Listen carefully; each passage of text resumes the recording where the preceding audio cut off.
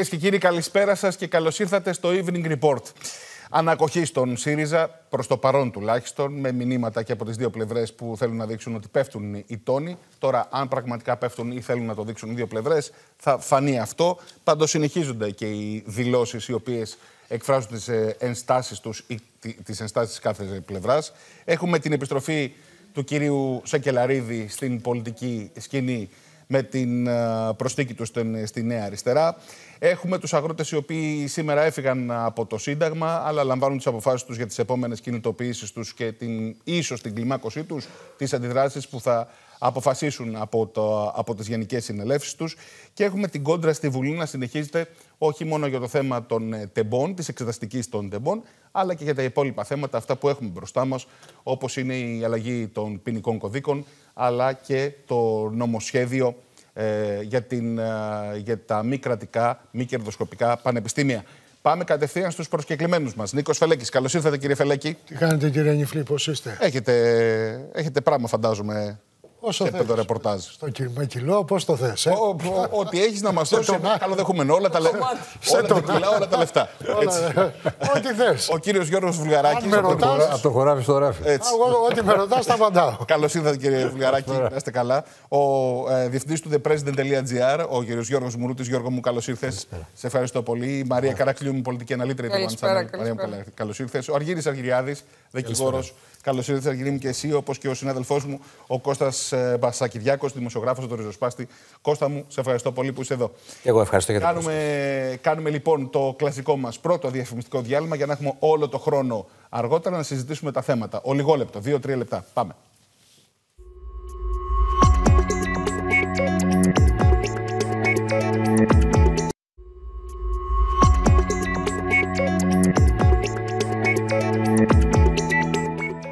Είμαστε κυρίες και κύριοι, επιστρέφουμε και πάμε λοιπόν να δούμε όλες τις εξελίξεις που έχουμε τόσο στο, ε, στο ΣΥΡΙΖΑ, ενώπιον του συνεδρίου που αρχίζει σε μερικές ώρες, όσο και στα υπόλοιπα κόμματα. Γιατί τώρα, Νίκο Φελέκη, ε, θα ακούσουμε με πολύ μεγάλη, με ευλαβική προσοχή μάλλον, ναι. ε, το ρεπορτάζ σου για το τι πρόκειται να γίνει στο συνέδριο, πώς πρόκειται να κυλήσουν οι επόμενες ημέρες στο ΣΥΡΙΖΑ. Από την άλλη πλευρά, πρέπει να σου πω και εγώ από το δικό μου το ρεπορτάζ ότι ετοιμάζεται και μία κίνηση, μία εγώ ε, πληροφορούμε εκδήλωση τον Μάρτιο, αυτή τη φορά από το Πασόκ, που φαίνεται ότι θα έχει ε, σημείο αναφορά στην κεντροαριστερά. Μπράβο, μπράβο, μπράβο στο Πασόκ. Ναι. Μπράβο, μπράβο. μπράβο. Μπράβο. Θα τα δούμε αυτά. Επιτέλους, το Μάρτιο. Θα, θα δούμε όλα αυτά. Αυτό πληροφορούμε, δεν το ξέρω. Δεν, δεν είναι κάτι επίσημο, μαθαίνω από στελέχη, ε, γενικότερα από το χώρο του Πασόκ ότι ετοιμάζονται κάποιες κινήσεις. Πρόσεξε, αυτά έρχονται, μάλλον αυτές οι κινήσεις έρχονται ε, σε μια περίοδο που η αλήθεια είναι δεν περιμέναμε ότι θα έχουμε κάτι τέτοιο, γιατί ο πρόεδρος του Πασόκ, ο κύριος Ανδρουλάκης, αυτό που έχει δηλώσει και εδώ στο One Channel, είναι ότι όποια συζήτηση ανοίξει για την κεντροαριστερά θα ανοίξει μετά τις ευρωεκλογές του. Ναι, ναι. Όμως φαντάζομαι ότι βρίσκει ότι αυτή είναι μια καλή σε εισαγωγικά περίοδος για να ανοίξει συζήτηση, επιβεβαιώνοντας και εσένα και πολλούς άλλους που από το ΣΥΡΙΖΑ, από τη Νέα Αριστερά, οι οποίοι προβληματίζονται τόσο καιρό για το μέλλον της κεντροαριστεράς. Μακάρι, μακάρι, μακάρι και όσο γίνονται προσπάθειες τέτοιες και εκδηλώσεις, εγώ το έχω πει εξ αρχής, θα πρέπει να γίνουν και να πολλαπλασιάζονται. Αλλά να λάβουν υπόψη τα συντρόφια της Χαρλάου Τρικούπη το εξής. Ότι 1-2 Ιουλίου έχει συνδιάσκεψη η Νέα Αριστερά. Ναι. 4 ιδρύει κόμμα Ολοβέρδος. Ναι. 9-10 παντρεύεται ο Ηλιόπουλος. Την άλλη, το άλλο Σαββατοκύριακο είναι καθαρή Δευτέρα. Το άλλο είναι 25η, 25η Μαρτίου και μετά πάμε Πρωταπριλιά. να προσέξουν λοιπόν να βρουν ημερομηνία. Ο γάμος Ηλιόπουλου τώρα τι σχέση έχει με το. Ε, εντάξει. Δεν θα... Να ζήσουν. Ε, ο άνθρωπος και το λέω ειλικρινά. Ήταν να γίνει. Και η Πρωταπριλιά τι, τι σχέση έχει με την κίτρα αριστερά, ας πούμε; Δεν ξέρω εγώ. Γι' αυτό να τα βρουν νωρίτερα. Σαββατοκύριακα είναι δύσκολα. Είναι καθαρή Δευτέρα, mm-hmm. είναι 25η Μαρτίου, έχει συνδιάσκεψη ε, ιδρυτική διακήρυξη η Νέα Αριστερά. Μη συμπέσουν, ρε παιδί μου. Άμα είναι για ευρύτερα. Ε, δεν θέλει να το κάνει ευρύτερα ο Ανδρουλάκης. Γιατί πρέπει να γίνει με τη συμμετοχή της Νέας Αριστεράς. Εν πάση περιπτώσει, το ευλογούμε. Είμαστε υπέρ και ναι. να πολλαπλασιαστούν τέτοιες εκδηλώσεις. Πάντως, μέχρι στιγμής οι ημερομηνίες ναι. που μας έχεις δώσει, μας έχεις δώσει την ατζέντα, όπως είπε ο κ. Βουλεράκη, της Νέας Αριστεράς. Και μας έχεις δώσει γενικότερα. Μα είπα για την Δηλαδή, καθαρή ξέρεις, Δευτέρα. Εγώ αυτό που. Είπα αυτό που- καθαρή Δευτέρα, είπα Ναι. 25η Μαρτίου. Εθνική γιορτή είναι. Πάντως συνήθως δεν, γίνονται καθημε... ε, δεν γίνονται σε αργίες ή Γι' εορτές. αυτό λέω το Σαββατοκύριακο είναι εκεί. Καθημερινές. Είναι απόκριε σε καθαρή Δευτέρα, φεύγει ο κόσμος. Άρα Ναι. Μάλιστα. εκεί χάνεται. Μάλιστα. 25η Μαρτίου χάνεται. Πέφτει και Δευτέρα είναι τρίτο. Παρότι, Αυτό παρότι, είναι Τι έγινε, παιδιά, σε αυτό Είναι το προβληματισμό τριήμερο. της ημερομηνία υπάρχει κάποιο θέμα. Αν έχουν βρει την ημερομηνία. Μάλιστα. Δεν είναι αυτό πάντως το θέμα. Ωραία. Να το ξεκαθαρίσουν. Το πολιτικό ζήτημα δεν είναι αυτό. Αν έχουν βρει, εγώ είμαι υπέρ και στο έχω πει εξ αρχής να πολλαπλασιαστούν όπως ευλόγησε ο Ιησούς τον Άρτο να πολλαπλασιαστούν, να πολλαπλασιαστούν οι εκδηλώσεις που να αφορούν την Και αν είναι ανασύνταξη. κάτι πολύ μεγάλο και γίνει ένα ολόκληρο Ακόμα Σαββατοκύριακο, καλύτερα. Αλλά να, να βρουν το Σαββατοκύριακο, αυτό σου λέω. οι Ακόμα ενστάσεις είναι καλύτερα. πολύ- Τις ακούνε με προσοχή, φαντάζομαι τώρα στη Χαρολέα Τουρκού, γιατί πρέπει να βρεθεί το Σαββατοκύριακο. Κύριε Βουλγαράκη, θέλω να κάνω μια γενικότερη παρατήρηση. Ακούς, ε, προεισαγωγική. Τσολιά, Τσολιά, τα προεισαγωγική. παρακαλώ. Ε, Το Γιώργο τον Τζολιά είναι. Νομίζω ότι είμαστε μπροστά στην αλλαγή του πολιτικού σκηνικού γενικότερα στην Ελλάδα. Δηλαδή, δηλαδή, μέχρι τώρα στην Ελλάδα τι είχαμε μάθει; Είχαμε μάθει το σύστημα των δύο κομμάτων, με μια ισχυρή αντιπολίτευση πάντα. Όταν λέω ισχυρή, εννοώ όχι μόνο ποσοστιαία, αλλά και με δυνατότητες κοινοβουλευτικές. Παρέμβαση. Μέσω, μέσω του κανονισμού της Βουλής να μπορεί να κάνει πράγματα. Έτσι. Να μπορεί να ασκεί δηλαδή κοινοβουλευτικό έλεγχο, όπως άλλωστε πρέπει να γίνεται σε μια αξιωματική αντιπολίτευση. Ένα ήταν αυτό το δεδομένο. Και το δεύτερο δεδομένο ήταν ότι η κύκλη εξουσίας περίπου ήταν επταετής. 7-8 χρόνια θεωρητικά, 7 συνήθως στην επταετία πάνω, είτε από κόπος, είτε από διάθεση αλλαγής, είτε από διάθεση αγανάκτησης, είτε δεν ξέρω εγώ από τι, υπήρχε μια αναλλαγή κομμάτων. Φαίνεται. Είναι αυτό που λέμε 7 χρόνια φαγούρας. 7 χρόνια φαγούρας. ναι. Πριν τα Φαίνεται- μνημόνια, γιατί με τα φαίνεται- μνημόνια είχαμε Φαίνεται λοιπόν διετίες. ότι εδώ βρισκόμαστε μπροστά σε μια αλλαγή σκηνικού. Και αυτό προκύπτει κυρίως από το γεγονός ότι ο χώρος της κεντροαριστεράς είναι, θυμίζει ένα βάλτο, δηλαδή ανάμεσα στο Κουκουέ και στη Νέα Δημοκρατία, υπάρχει μια κινούμενη άμμος, η οποία δεν έχει σαφές πολιτικό στίγμα, δεν έχει ξεκαθαρίσει τι ακριβώς είναι και ηρίστον παρόδο, εδώ στις δημοσκοπήσεις βλέπουμε ας πούμε ότι ο ΣΥΡΙΖΑ τον προτιμούν 12, 13, 14, δεν ξέρω πόσο της εκατό. Το ερώτημά μου είναι, αυτοί οι άνθρωποι που δυνητικά θέλουν να ψηφίσουν ΣΥΡΙΖΑ, τι ακριβώς θέλουν να ψηφίσουν; Ναι. Δηλαδή, όταν λένε εγώ ας πούμε ψήσω ΣΥΡΙΖΑ. Ναι. Εγώ ω τρίτο. Καλά, πες εγώ είμαι δεξιός. Ένας άλλος παρακολουθεί και βλέπει, ας πούμε. Τι ακριβώς θα πάνε ψηφίσει; Ναι. Δεν έχω καταλάβει. Πάντως το θέμα είναι ε, για, αυτό το, για αυτή την κουβέντα που κάνουμε τώρα. Σε σχέση με. Ε, το αφήνω στο τραπέζι το ρεπορτάζ που λέει ότι το Πασόκ φαίνεται να προσανατολίζεται ε, σε μια πρωτοβουλία, είτε αυτή ε, εκφραστεί μέσω μιας εκδήλωσης ούτε οτιδήποτε άλλο. Ε, και επειδή ο Νίκος Ανδρουλάκης έχει δεχθεί αρκετή κριτική από όλους, ότι έχει καθυστερήσει, ότι δεν ε, σηκώνει τους τόνους ή οτιδήποτε άλλο σε σχέση με την κέντρο αριστερά, ε, εμένα μου μοιάζει αυτό λίγο με το ότι ήρθε η ώρα να μιλήσει και το Πασόκ. Μα Γιατί δεν έχει μιλήσει το Σιδηρόπουλος. Έπρεπε και όταν εγώ έλεγα ότι καλό είναι να γίνουν τέτοιες εκδηλώσεις, γιατί διαφορετικά στο δημόσιο λόγο το μόνο που υπάρχει είναι η επέλαση της δεξιάς και της ακροδεξιάς. Πρέπει στο δημόσιο λόγο να μπει και η ατζέντα της κεντροαριστεράς, είτε ποιος είναι απέναντι στο Μητσοτάκι, είτε πώς θα αναδιοργανωθεί ευρύτερα η κεντροαριστερά, είτε πώς το Πασόκ θα πάρει πρωτοβουλίες ή ο ΣΥΡΙΖΑ ή όλοι. Να γίνει και στο δημόσιο λόγο η κεντροαριστερά τουλάχιστον σε επίπεδο Μάλιστα. συζήτησης. Έλα πάμε τώρα να Πάμε πούμε. τώρα στα- στο θα, θα ΣΥΡΙΖΑ. επανέλθουμε σε Πρέπει αυτό. όμω τα κόμματα να Πάμε είναι να δούμε. καλή αγωγή αυτών των απόψεων. Βέβαια. Ε, βέβαια. Διότι αν δεν είναι καλή αγωγή, Βέβαια. είναι και η κουβέντα. Μα συμφωνούμε. Αν είναι χαλκία, βεβαίως. Για πάμε λοιπόν τώρα να δούμε. Θα με ρωτάς Πώς συγκεκριμένα. πηγαίνουμε στο, ε, στο συνέδριο και τι πηγαίνουμε, ή αν θέλετε να το ξεκινήσουμε από χθες το βράδυ, από αυτήν την ανακοχή. Ε, Την οποία προβλέψαμε εδώ. Ναι, αλλά ε, τι, τι έχει γίνει από χθες το βράδυ μέχρι σήμερα, γιατί οι δηλώσεις συνεχίστηκαν. Δηλαδή, θέλω να ακούσουμε τον κύριο Ζαχαριάδη, τον κύριο Ραγκούση, τον κύριο Παπά, τι υπόθηκε στη σημερινή μέρα. Γιατί φαίνεται ότι χθες έπεσαν οι τόνοι, αλλά οι δηλώσεις συνεχίζονται. Πάμε να το ακούσουμε. κανένας δεν έχει σηκώσει θέμα, δεν έχει γύρει θέμα δυσπιστίας. Μα δεν υπάρχει, δεν υπάρχει σε κανένα κόμμα ε, λευκή επιταγή ούτε για πρόσωπο ούτε για όργανο. Εμείς έχουμε εκλέξει δημοκρατικά τον κύριο Κασελάκη από τη διαδικασία που προβλέπει το καταστατικό μας για μια πλήρη θητεία. Λοιπόν, αυτό δεν αμφισβητείται από Άρα ο κανέναν. κύριος Κασελάκης, λέτε, θα παραμείνει πρόεδρος του ΣΥΡΙΖΑ μέχρι τις εθνικές εκλογές. Ο κύριος Κασελάκης είναι εκλεγμένος για να ασκήσει τα καθήκοντά του για μια πλήρη θητεία, πρώτον. Δεύτερον, γιατί εκεί πάνω έγινε, ξεκίνησε χθες μια συζήτηση, ε, αν τα αποτελέσματα των ευρωεκλογών θα είναι ένα στοιχείο το οποίο θα πρέπει να το προσπεράσει κανείς ή θα πρέπει να σταθεί σε αυτό και να το αξιολογήσει. Είναι αδιανόητο και πολιτικά, και πολιτικά ανόητο να λέγονται αυτά τα πράγματα. Η δική μου πεποίθηση και η διάθεση του κυρίου Κασελάκη, από ό,τι κατάλαβα χθες στην πολιτική γραμματεία, είναι ότι σε περίπτωση που αμφισβητηθεί ο κύριος Κασελάκης, είναι διατεθειμένος να ζητήσει ξανά την εμπιστοσύνη της βάσης. Μάλιστα. Λοιπόν, Νίκο, εδώ ε, γίνεται το εξής. Από τη μία πλευρά, ο κύριος Κασελάκης φαίνεται να πηγαίνει στην πολιτική γραμματεία και να τους λέει ότι δεν θέλω πλέον αμφισβήτηση. Αν με πιστεύετε, ε, θέλω την λευκή επιταγή, να το πω έτσι, με μάγνα κάρτα μέχρι, την, ε, μέχρι τις εθνικές εκλογές. Η απάντηση που έρχεται είναι ότι λευκή επιταγή δεν γίνεται να πάρεις και θα πας μέχρι τις ευρωεκλογές και βλέπουμε. Σωστά, μέχρι εδώ; Σωστά. Πάμε λοιπόν τώρα στην επόμενη μέρα, γιατί όλα αυτά γίνονται ώρες πριν το συνέδριο ενός κόμματος. Με 5.000 ακροτήριο κάτω, στο οποίο θα κληθεί να μιλήσει ο κ. Κασελάκης. Και εδώ. Μία, Στα, κλε- μία εκλεγμένο. στα πετάω, ναι, Στα, στα, στα πετάω τώρα όλα μαζί. Και με το ερώτημα αν ο, ο πρώην ε, αρχηγός του ΣΥΡΙΖΑ και πρώην πρωθυπουργός της χώρας θα παραβρεθεί στο συνέδριο. Ο κύριος Τσίπρας εννοώ. Λοιπόν, να τα πάρω αντίστροφα για να τα θυμάμαι. Βεβαίως, βεβαίως.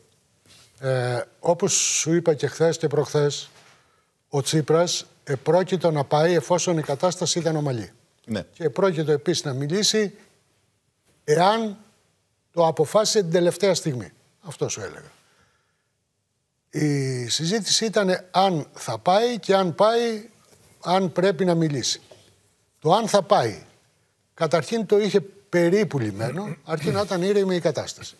Και το αν θα μιλούσε, επίσης αν ήταν ήρεμη η κατάσταση και μπορούσε να πει τις απόψεις του για τις εξελίξεις κυρίως στην Ευρώπη, για την επέλαση της ακροδεξιάς, για, για, για, για τα μεγάλα θέματα, τη μεγάλη εικόνα. Συγχώρεσέ με. Δεν μου Περίμενε. κάνει, ε, δεν μου Περίμενε. κάνει ως κανονικό αυτό. Όχι, όχι. Γιατί το Σου λέω. Λέω τι ήθελε ο Τσίπρας. Ότι χωρίς να κρίνω τις αποφάσεις του κυρίου Τσίπρα, όποιες και αν είναι αυτές, ε, είναι αυτό που λέμε ο καλός ο καπετάνιος στη φουρτούνα φαίνεται. Μα ο Τσίπρας δεν διεκδικεί να είναι καπετάνιος του ΣΥΡΙΖΑ. Ε, εντάξει, Έφυγε. Είσαι, ε, Έφυγε. είσαι ιδρυτής Όχι, του το ΣΥΡΙΖΑ, είπε. Ενώ αυτής της... Το είπε. Έφυγε και δεν πρόκειται να επαστρέψει τουλάχιστον κατ' εμέ πριν περάσουν τέσσερα χρόνια.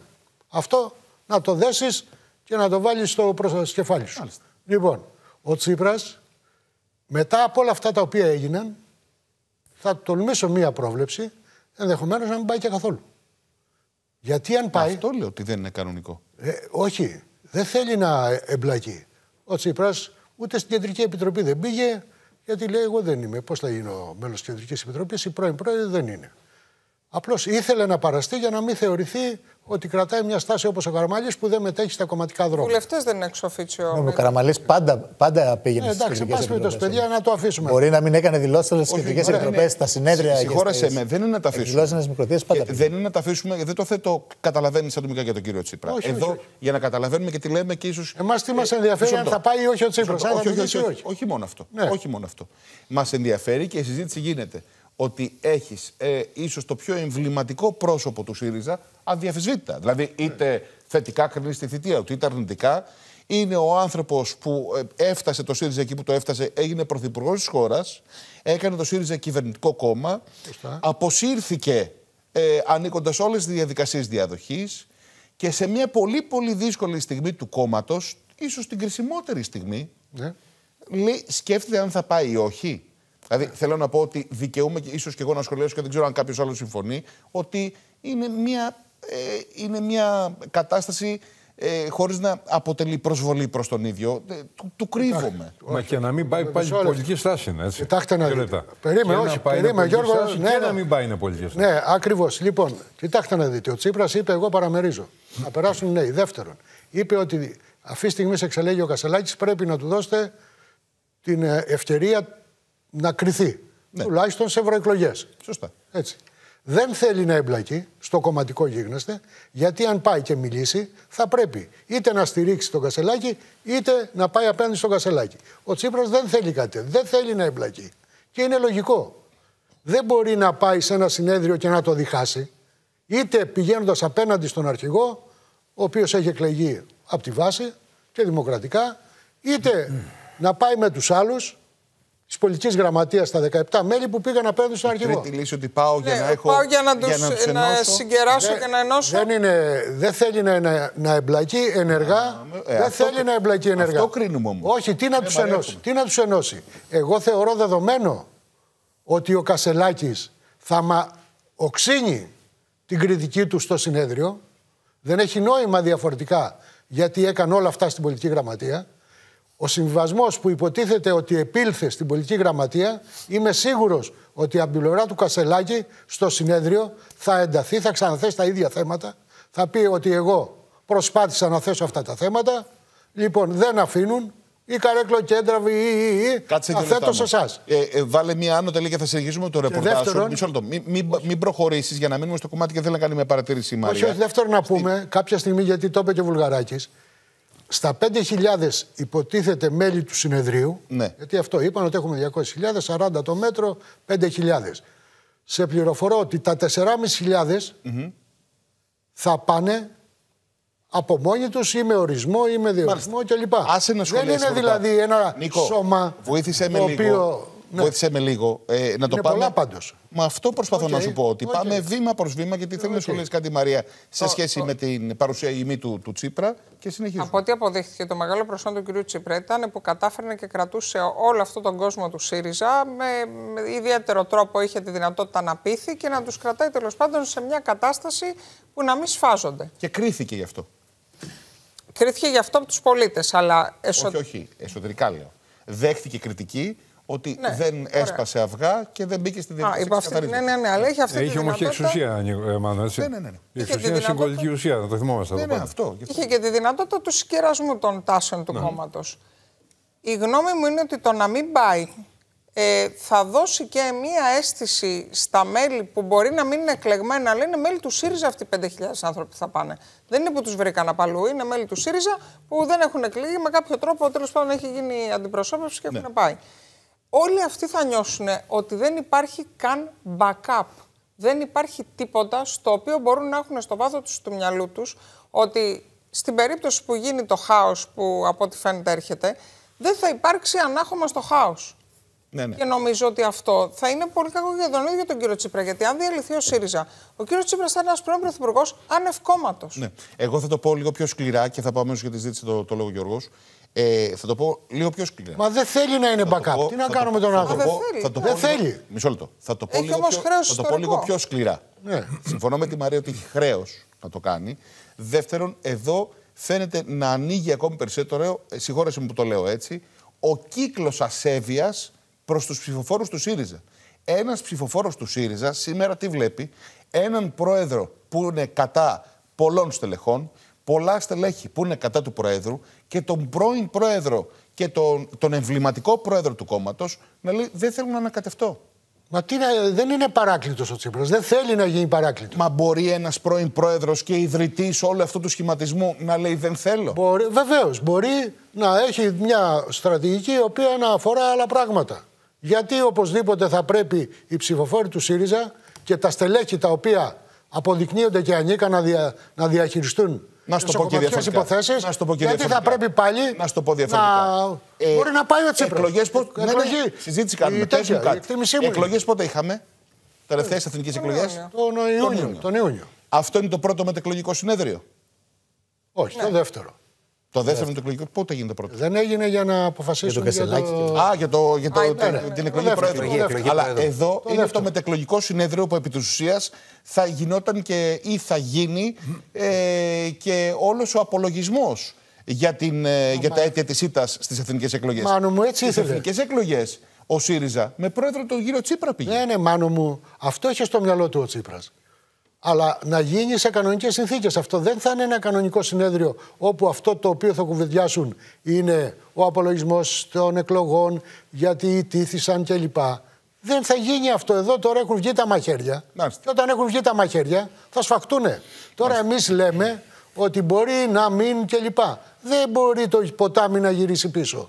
Αυτά τα οποία υποθήκανε Ναι. δεν μπορούν να τα πάρουν πίσω. Άρα λοιπόν πάνε σε ένα Το είπε συμβιβασμό. πολύ σωστά, έχει ραγίσει το γυαλί. Ναι, Έρχομαι, ναι, κύριε πάνε Βουλγαράκη, σε ένα έχει ζητήσει ο Γιώργος συμβιβασμό μια παρατήρηση. και αυτό είναι ό,τι χειρότερο για το ΣΥΡΙΖΑ. Ναι, ναι, έλα Γιώργο. Εγώ θα δώσω δίκιο στον Νίκο Τοφελέκη ότι δεν μπορεί ο κύριος Τσίπρας να Ε, πάει. δεν γίνεται έτσι εκπομπή όμως, Γιώργο μου. Άμα δεν Γιατί μια φορά. Σε ό,τι αφορά το φορά ο συγκεκριμένο. σύντροφος- μια φορά ο σύντροφος να πάμε έκανε, μαζί. μία, έκανε μία Χέρι-χέρι. επιλογή να αποχωρήσει. Ε, βέβαια. Βασικά την επιλογή την έκανε ο ελληνικός λαός. Του έδειξε το δρόμο δύο φορές. Ο κ. Τσίπρας πήρε το μήνυμα, αποχώρησε και από εκεί πέρα η διάδοχή του καλούνται να βγάλουν τα κάστανα από τη- τη φωτιά. Επαναλαμβάνω αυτό που είπα και χθες και το λέω εδώ και πάρα πολύ καιρό. Ο ΣΥΡΙΖΑ έχει τελειώσει ως κόμμα εξουσίας και απλώς δεν το ξέρουν ακόμα μεταξύ τους. Επίσης, θα επαναλάβω ένα οξύμορο που υπάρχει σε σχέση με τον κύριο Τσίπρα και τον ε, ΣΥΡΙΖΑ. Φαίνεται ότι ο κύριος Τσίπρας ως φυσικός ηγέτης αυτού του χώρου αλλά και ως ε, πρώην πρωθυπουργός και στέλεχος του κόμματος έχει έναν διευρυμένο ρόλο όχι ε, ουσιαστικό αλλά πιο πολύ θε- ε, θεσμικό, θεωρητικό μες στο ΣΥΡΙΖΑ την ώρα που το κόμμα του είναι εχθρικό εναντί του.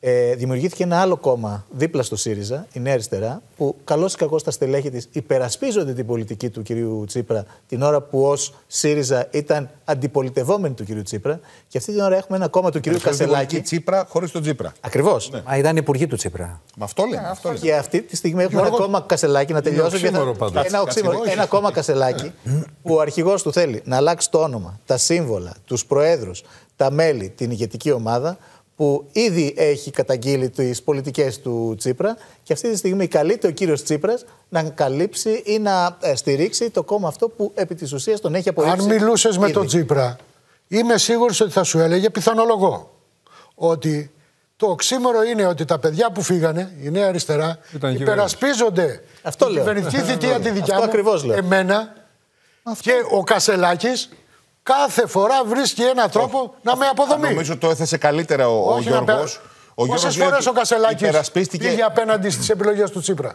Πάντα. Τα στελέχη της Νέας Αριστεράς υπερασπίζονται την πολιτική Τσίπρα κατά τη διάρκεια της κυβερνητικής Μπράβο, και τον ίδιο Τσίπρα. Όχι, όχι. Και τον ίδιο τον Τσίπρα. Όχι τον ίδιο Και Τσίπρα. τον ίδιο- Με συγχωρείς. Απλώς. Θες να μου πεις ότι η δεν το ομάδα θες. της Νέας Αριστεράς ήταν υποστηρικτές ή είναι υποστηρικτές του Τσίπρα; Άμα βάλεις ε, ε, εκτός από την ομπρέλα, ε, όχι την ομπρέλα, τους ε, 53, Ναι. δηλαδή το φίλο μου το Φίλι, τον ναι, ναι, Τσακαλώδη, ναι, ναι. τα άλλα παιδιά, οι 6 συν 6 και όποιοι άλλοι φύγανε μαζί τους, βεβαίως ήταν υποστηρικτικοί του Τσίπρα και δεν το κρύβανε.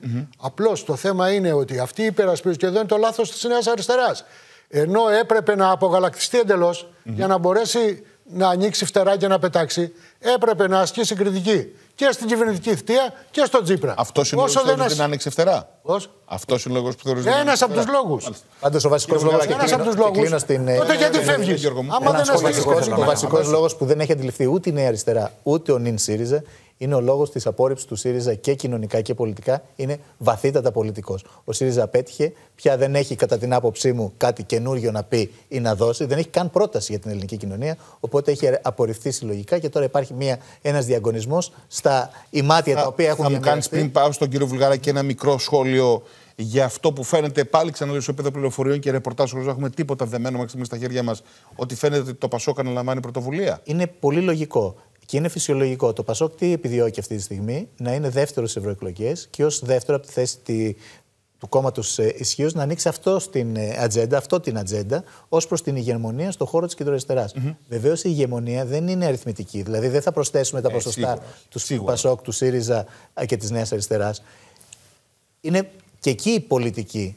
Πρώτα θα πρέπει το Πασόκ να λύσει με τη ΣΥΡΙΖΑ τα βαθύτατα ζητήματα που έχουν και τα ιδεολογικά και τα αξιακά και τα πολιτικά και τα προσωπικα Θυμίζω ότι με- πριν λίγα χρόνια έλεγαν τον κύριο Ανδρουλάκη προσωπικά Γερμανό Τσολιά, τα στελέχη του ΣΥΡΙΖΑ Έχεις δίκιο. καθίβριζαν μέσα στη Βουλή. Το Βαγγέλη Βενιζέλο τον έστερναν στα ειδικά δικαστήρια ε, για το θέμα της Νοβάρτης. Θέλω να πω λοιπόν ότι. Πρώτα θα βασικά λυθούν- στελέχη του ΣΥΡΙΖΑ πλέον είναι ε, στελέχη της κυβέρνησης Γιώργου Παπανδρέου. Όπου με αυτά έχει πολύ μεγαλύτερες διαφορές ο Ανδρουλάκης. Υπάρχει ρήγμα, όχι διαφορές. Αυτό Υπάρχει τείχος. Υπάρχει... Τείχος. Ναι, ε, αυτό λοιπόν που θέλω να πω είναι. Ποιος αναφέρεσαι; Ραγκούσης, Ξενογεννακοπούλου. Ε, ε, Ουδής εκλεγμένος βουλευτής, βέβαια. δεν έχει σημασία, αλλά είναι. Πώς να το πω. να το πω δημόσιο λόγο. συγγνώμη να το πω έτσι. Είναι πρώτα φωγιολιά στη. Έχουν στο ΣΥΡΙΖΑ. δημόσιο λόγο. Έτσι, έχουν δημόσιο λόγο και. Νομίζω η Μαργίζα έχει εκλεγεί.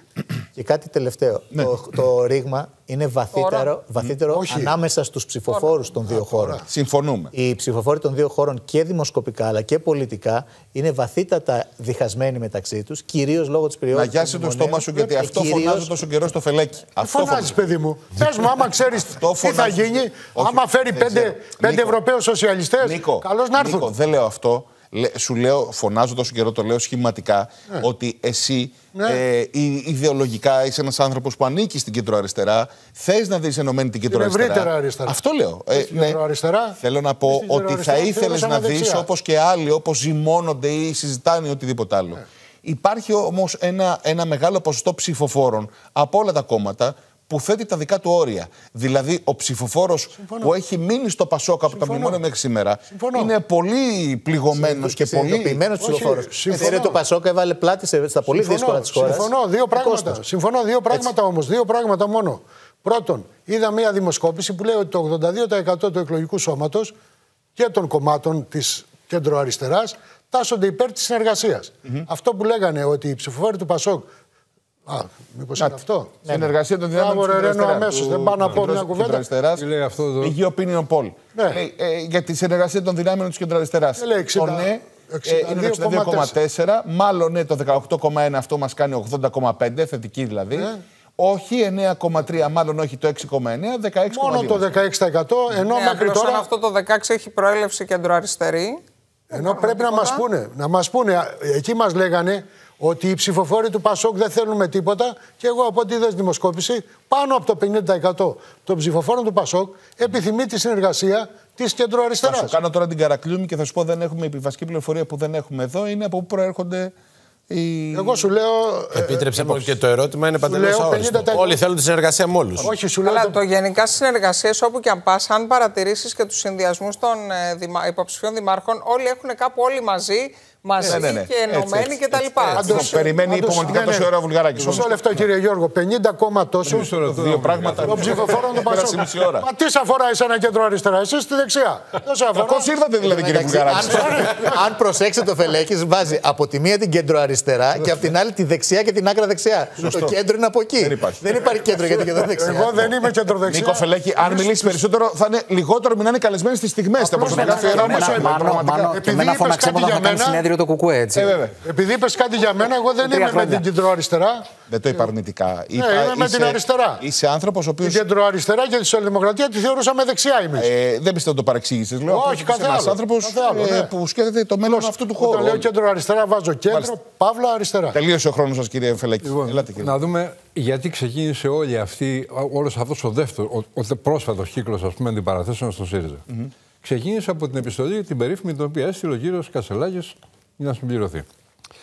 Πώς λειτουργεί εδώ ο κ. Χασελάκης, λειτουργεί με όρους marketing και ο λόγος διαχείρισης ανθρωπίνου δυναμικού. Δηλαδή, HR. Ε; HR. HR ακριβώς. Δηλαδή, στέλνει μία επιστολή από την οποία ουσιαστικά λέει ότι εγώ θέλω να κάνω αυτό που λέμε στο marketing rebranding, δηλαδή να ξαναφτιάξω το brand το οποίο είναι καταστραμμένο. Το οποίο το λέει και σε άλλες φάσεις, προηγούμενες το έχει πει. Μάλιστα, πρόσφατα στο, στο Λονδίνο είπε ότι αν ο ΣΥΡΙΖΑ λειτουργούσε κανονικά, εγώ δεν θα ήμουν αρχηγός. Το ερώτημα είναι αυτοί που το ψηφίσανε, πώς το ψηφίσανε. Και έχει δίκιο. Και έχει δίκιο, έχει δίκιο σε αυτό. Αυτό είναι το εξοργιστικό. Yeah, έχει δίκιο. Αυτοί που ψηφίσανε, τι ακριβώς. Τι ψηφίσανε όταν λένε δεν το ξέρουν. Γιατί ψηφίσανε. Και πολύ περισσότερο, τι προτείνουν στον ελληνικό λαό ως αρχηγό αξιωματή αντιπολίτευσης, δηλαδή τον τέταρτο πυλώνα θεσμικό του κράτους, όταν δεν ξέρουν ποιος είναι και κατά συνέπεια τι είναι αυτό το οποίο εισηγούνται. Ναι. Έχουμε λοιπόν έναν Κασελάκη, ο οποίος λειτουργεί με όρους αγοράς. Η αντίληψή του είναι για την πολιτική. Όμως δεν διαλέγεις κόμμα με την ίδια ευκολία που διαλέγεις ένα σαμπουάν από το σούπερ μάρκετ. Είναι τελείως διαφορετικά τα κριτήρια. Τώρα το δεύτερο. Παρακολουθώ τις ζυμώσεις που γίνονται στον χώρο τη. όμως, συγγνώμη, με την ευκολία που επέλεξαν οι ψηφοφόροι του ΣΥΡΙΖΑ, τον κύριο Κασελάκη, με την ίδια ευκολία επιλέγουν σαμπουάν. Η θεωρία τη ορθολογικής επιλογής αυτό λέει, ότι δράσει περίπου ως καταναλωτής και ως ψηφοφόρος. Υπάρχουν όμως ορισμένες παραμετροποιήσεις στις οποίες ένας ας πούμε, δυνητικά, ένας δυνητικός ψηφοφόρος συμπεριλαμβάνει και δικά του δεδομένα σε κάθε επιλογή. Και, εν πάση περιπτώσει, επηρεάζει από τη δημόσια εικόνα. Εδώ τώρα μιλάμε για ένα τελείως διαφορετικό φαινόμενο πρώτη φορά σημειώνεται στα ελληνικά πολιτικά χρονικά, τουλάχιστον. Ναι. Θα μου πεις, Εδώ, ολόκληρη Αμερική δεν μπορεί να βρει δύο ανθρώπους νέους, σύγχρονους, καλούς, να, υπο... να βάλει υποψήφιους. Και παίρνει ένα 152 χρονών και ένα 164. Αλλά αυτό είναι άλλο δεδομένο. Σωστό. Τώρα, για το χώρο της κεντροαριστεράς. Είναι καλό που γίνονται αυτές οι συζητήσεις. Και συζητιούνται και να ζυμώνονται και να κάνουν. Η κεντροαριστερά, η αριστερά, μάλλον για να το πω πιο καθαρά στο φίλο μου τον Νίκο, έχει χάσει το αφήγημά της. Δηλαδή, αυτά τα οποία είχε μάθει να λέει τη δεκαετία του 60, του 70 και αρχές ή μέσα 80, πλέον δεν αντιστοιχούν σε αυτά που θέλει ο κόσμος. Είναι άλλα τα ερωτήματα του κόσμου. Εάν δεν το καταλάβει αυτό, στην Ελλάδα τα επόμενα χρόνια θα έχουμε δεξιά αξιωματική αντιπολίτευση. Ναι. Δεν θα έχουμε δηλαδή αυτό το οποίο έχουμε μάθει χρόνια τώρα ένα κόμμα από εδώ, ένα κόμμα από εκεί. Θα έχουμε δύο κόμματα. Χαίρομαι που ο Βουλγαράκης έρχεται στις θέσεις μου. Κώστα και πολύ. Είσαι δεξιός, το ξέρω. Ε, άστο είμαι δεξιός. Ναι, εγώ θέλω να κάνω ένα σχόλιο. Έχει πολύ ενδιαφέρον αυτή η κουβέντα και καλές είναι εκδηλώσεις. Καλό είναι το marketing. Καλές είναι οι διεργασίες. Και έχουν δημοσιογραφικό ενδιαφέρον, αλλά έχουν ενδιαφέρον και για τον κόσμο. Mm-hmm. Είτε είναι ψηφοφόροι του ΣΥΡΙΖΑ και του ΠΑΣΟΚ, είτε όχι. Γιατί αυτά τα δύο κόμματα ενδιαφέρει τον κόσμο, γιατί αυτά τα δύο κόμματα έχουν κυβερνήσει. Δεν ήρθαν χτες. Σωστό. Έτσι. Λοιπόν, μια παρατήρηση είναι αυτή. Η δεύτερη παρατήρηση είναι ότι ε, ο κόσμος, την ίδια στιγμή που γίνονται όλες αυτές οι διεργασίες, έχει να αντιμετωπίσει μια συγκεκριμένη πραγματικότητα. Και σε αυτή την πραγματικότητα, τα κόμματα που μεταξύ τους προσπαθούν να βρουν τις ισορροπίες τους και να δούνε πώς θα δημιουργήσουν ένα πόλο, επόμενο πόλο διακυβέρνησης απέναντι στο Μητσοτάκι, γιατί, στη Νέα Δημοκρατία, γιατί αυτό είναι το διακύβευμα, παρουσιάζουν μια πολιτική πρόταση, η οποία, να με συγχωρείτε, αλλά όποιος παρακολουθεί τα κοινοβουλευτικά δρόμενα θα διαπιστώσει ότι αυτά τα κόμματα κάνουν μάγκα το Μητσοτάκι και τη Νέα Δημοκρατία. Με τη στάση τους. Ψηφίζουν νομοσχέδιά του. Τον αποθεώνουν σαν προοδευτικό. Με αφορμή ένα νομοσχέδιο. Τον αποθεώνουν σαν προοδευτικό με αφορμή δεύτερο νομοσχέδιο. Αναφέρομαι στην επιστολική ψήφο και στην τεκνοθεσία από όμορφα ζευγάρια. Να σου πω και θα σε αφήσω να ολοκληρώσω. Ναι, ναι. Ε, ε, Πολλές φορές ε, υπάρχει και η ανάγκη του κόσμου, ο οποίος λέει ότι χρειάζεται να συμφωνούμε σε μερικά πράγματα. Βεβαίως. Δεν θα κρίνουμε το πια. Να σου πω όμως, και κρίνονται μάλλον όλοι από πια. Να αλλά σου λέω... όμως το εξής όταν η ζυγαριά γέρνει στο να συμφωνούμε στο 50% ή στο 70%, εξήγησέ μου γιατί ένας άνθρωπος που βλέπει όλο αυτό το πράγμα να συμβαίνει στο ΣΥΡΙΖΑ και στο ΠΑΣΟΚ, για ποιο λόγο να μην πάει να ψηφίσει το Μητσοτάκι. Ναι. Κάτι το οποίο αφενός μεν έγινε στις εκλογές. κόμμα, γιατί; Αφενός θα σου πω. Όχι, λέμε, αναφέρομαι στον κόσμο που ταλαντεύεται ανάμεσα σε ΣΥΡΙΖΑ ΠΑΣΟΚ γιατί; συμφωνεί στο να υπάρχει μια τέτοια πολιτική. Του ΣΥΡΙΖΑ του ΠΑΣΟ, γιατί. Ναι, ναι. Σε αυτό, να σε αυτό θα φτάσω στη συνέχεια. Να πάνε στο κουκουέ. Α, αυτή τη στιγμή λοιπόν στο, στο πολιτικό σύστημα, στο αστικό πολιτικό σύστημα, εγώ αυτό που καταλαβαίνω είναι το εξής. Υπάρχει ένας πόλος, ο κυβερνητικός πόλος, στον οποίο προσπαθεί ο ΣΥΡΙΖΑ και το ΠΑΣΟΚ να ψελίσει κάποια στοιχεία αντιπολίτευσης, τα οποία στην πραγματικότητα δεν υφίστανται. Πείτε μου ένα παράδειγμα, μέτωπα, να ανοίξουμε. Πανεπιστήμια στελέχοι του ΣΥΡΙΖΑ βγαίνουν την ώρα που ένας λέει κατά, ο άλλος βγαίνει και λέει να πληρώνουμε από τώρα και δίδακτρα στα δημόσια πανεπιστήμια. Mm-hmm. Αγρότες. Έχουν ψηφίσει στην Ευρωπαϊκή, στο Ευρωπαϊκό Κοινοβούλιο την κοινή αγροτική πολιτική. Να στο γυρίσω όμως ανάποδα. Να σου πω, ας πούμε, ότι για παράδειγμα ήταν κατά με καλή εικόνα που είδα και στην ουσία, όχι μόνο σε επίπεδο εικόνας, η πρόταση Ανδρουλάκη στο Πασόκ και την, για λύση στο στεγαστικό πρόβλημα όπου ένα μέρος αυτών υιοθετήθηκε από την κυβέρνηση. Να σου Καταλαβαίνεις, θέλω να πω. Δηλαδή, βεβαίως, αναγνώριση ενός υπαρκτού προβλήματος ναι. Και συζήτηση ουσιαστική. Να δηλαδή, δούμε... το στήριο, αυτό το όχι και με, με, τίποτα. Ναι, στα ναι, πάντα ναι, όχι. Δεν διαφωνώ εγώ σε αυτό που ναι. λες. Ε, Όμως πρέπει να δούμε λίγο το περιεχόμενο. Η πρόταση αυτή δίνει αυτή τη στιγμή διέξοδο Σωστά. σε χρεωμένα νοικοκυριά τα οποία βγαίνουν αύριο στον πληστηριασμό ή στην έξωση. Έχεις δίκιο. Δεν δίνει ρε, δεν δίνει, όχι, δεν δίνει κανένα. Δεν δίνει, και δεν έχουν εναλλακτική πρόταση απέναντι σε αυτό. Ψηφίσανε το 50% του νομοσχεδίου για το ιδιωτικό χρέος. Δηλαδή αυτό ακριβώς το πράγμα. Ναι, ναι. Και ο κόσμος παρακολουθεί αμήχανα να συμβαίνουν αυτά που συμβαίνουν για παράδειγμα στο ΣΥΡΙΖΑ μόλις μερικούς μήνες μετά την εκλογή του νέου Προέδρου του ΣΥΡΙΖΑ. Όχι μετά από 3-4 χρόνια. Και εν ώψη ενός συνεδρίου. Επίσης... Κώστα, δεν είναι μόνο η αλτερνατίβα η έλλειψή της. Είναι και το ότι αυτά τα κόμματα απόλεσαν, απόλεσαν τα κινηματικά τους χαρακτηριστικά. Μα δεν έχουν καμία σχέση. Νίκο μου, γιατί τα δεν έχουν καμία σχέση Νίκο, με τα γιατί επιτρέπεις να σου πω με σεβασμό την εμπειρία ναι. σου και την πείρα σου στη δημοσιογραφία και στην πολιτική ναι. τη χρόνια πολιτικό ρεπορτάζ. Το αφήγημα που θέτεις, ευθυσονίζω με τον Γιώργο Βουλγαράκη, το αφήγημα που θέτεις, ναι. τον κινηματικό τους χαρακτήρα και οτιδήποτε άλλο, δεν αφορά, δεν απαντά στα ερωτήματα του κόσμου σήμερα. Όχι, αυτό θέλει. Θέλω να σου πω.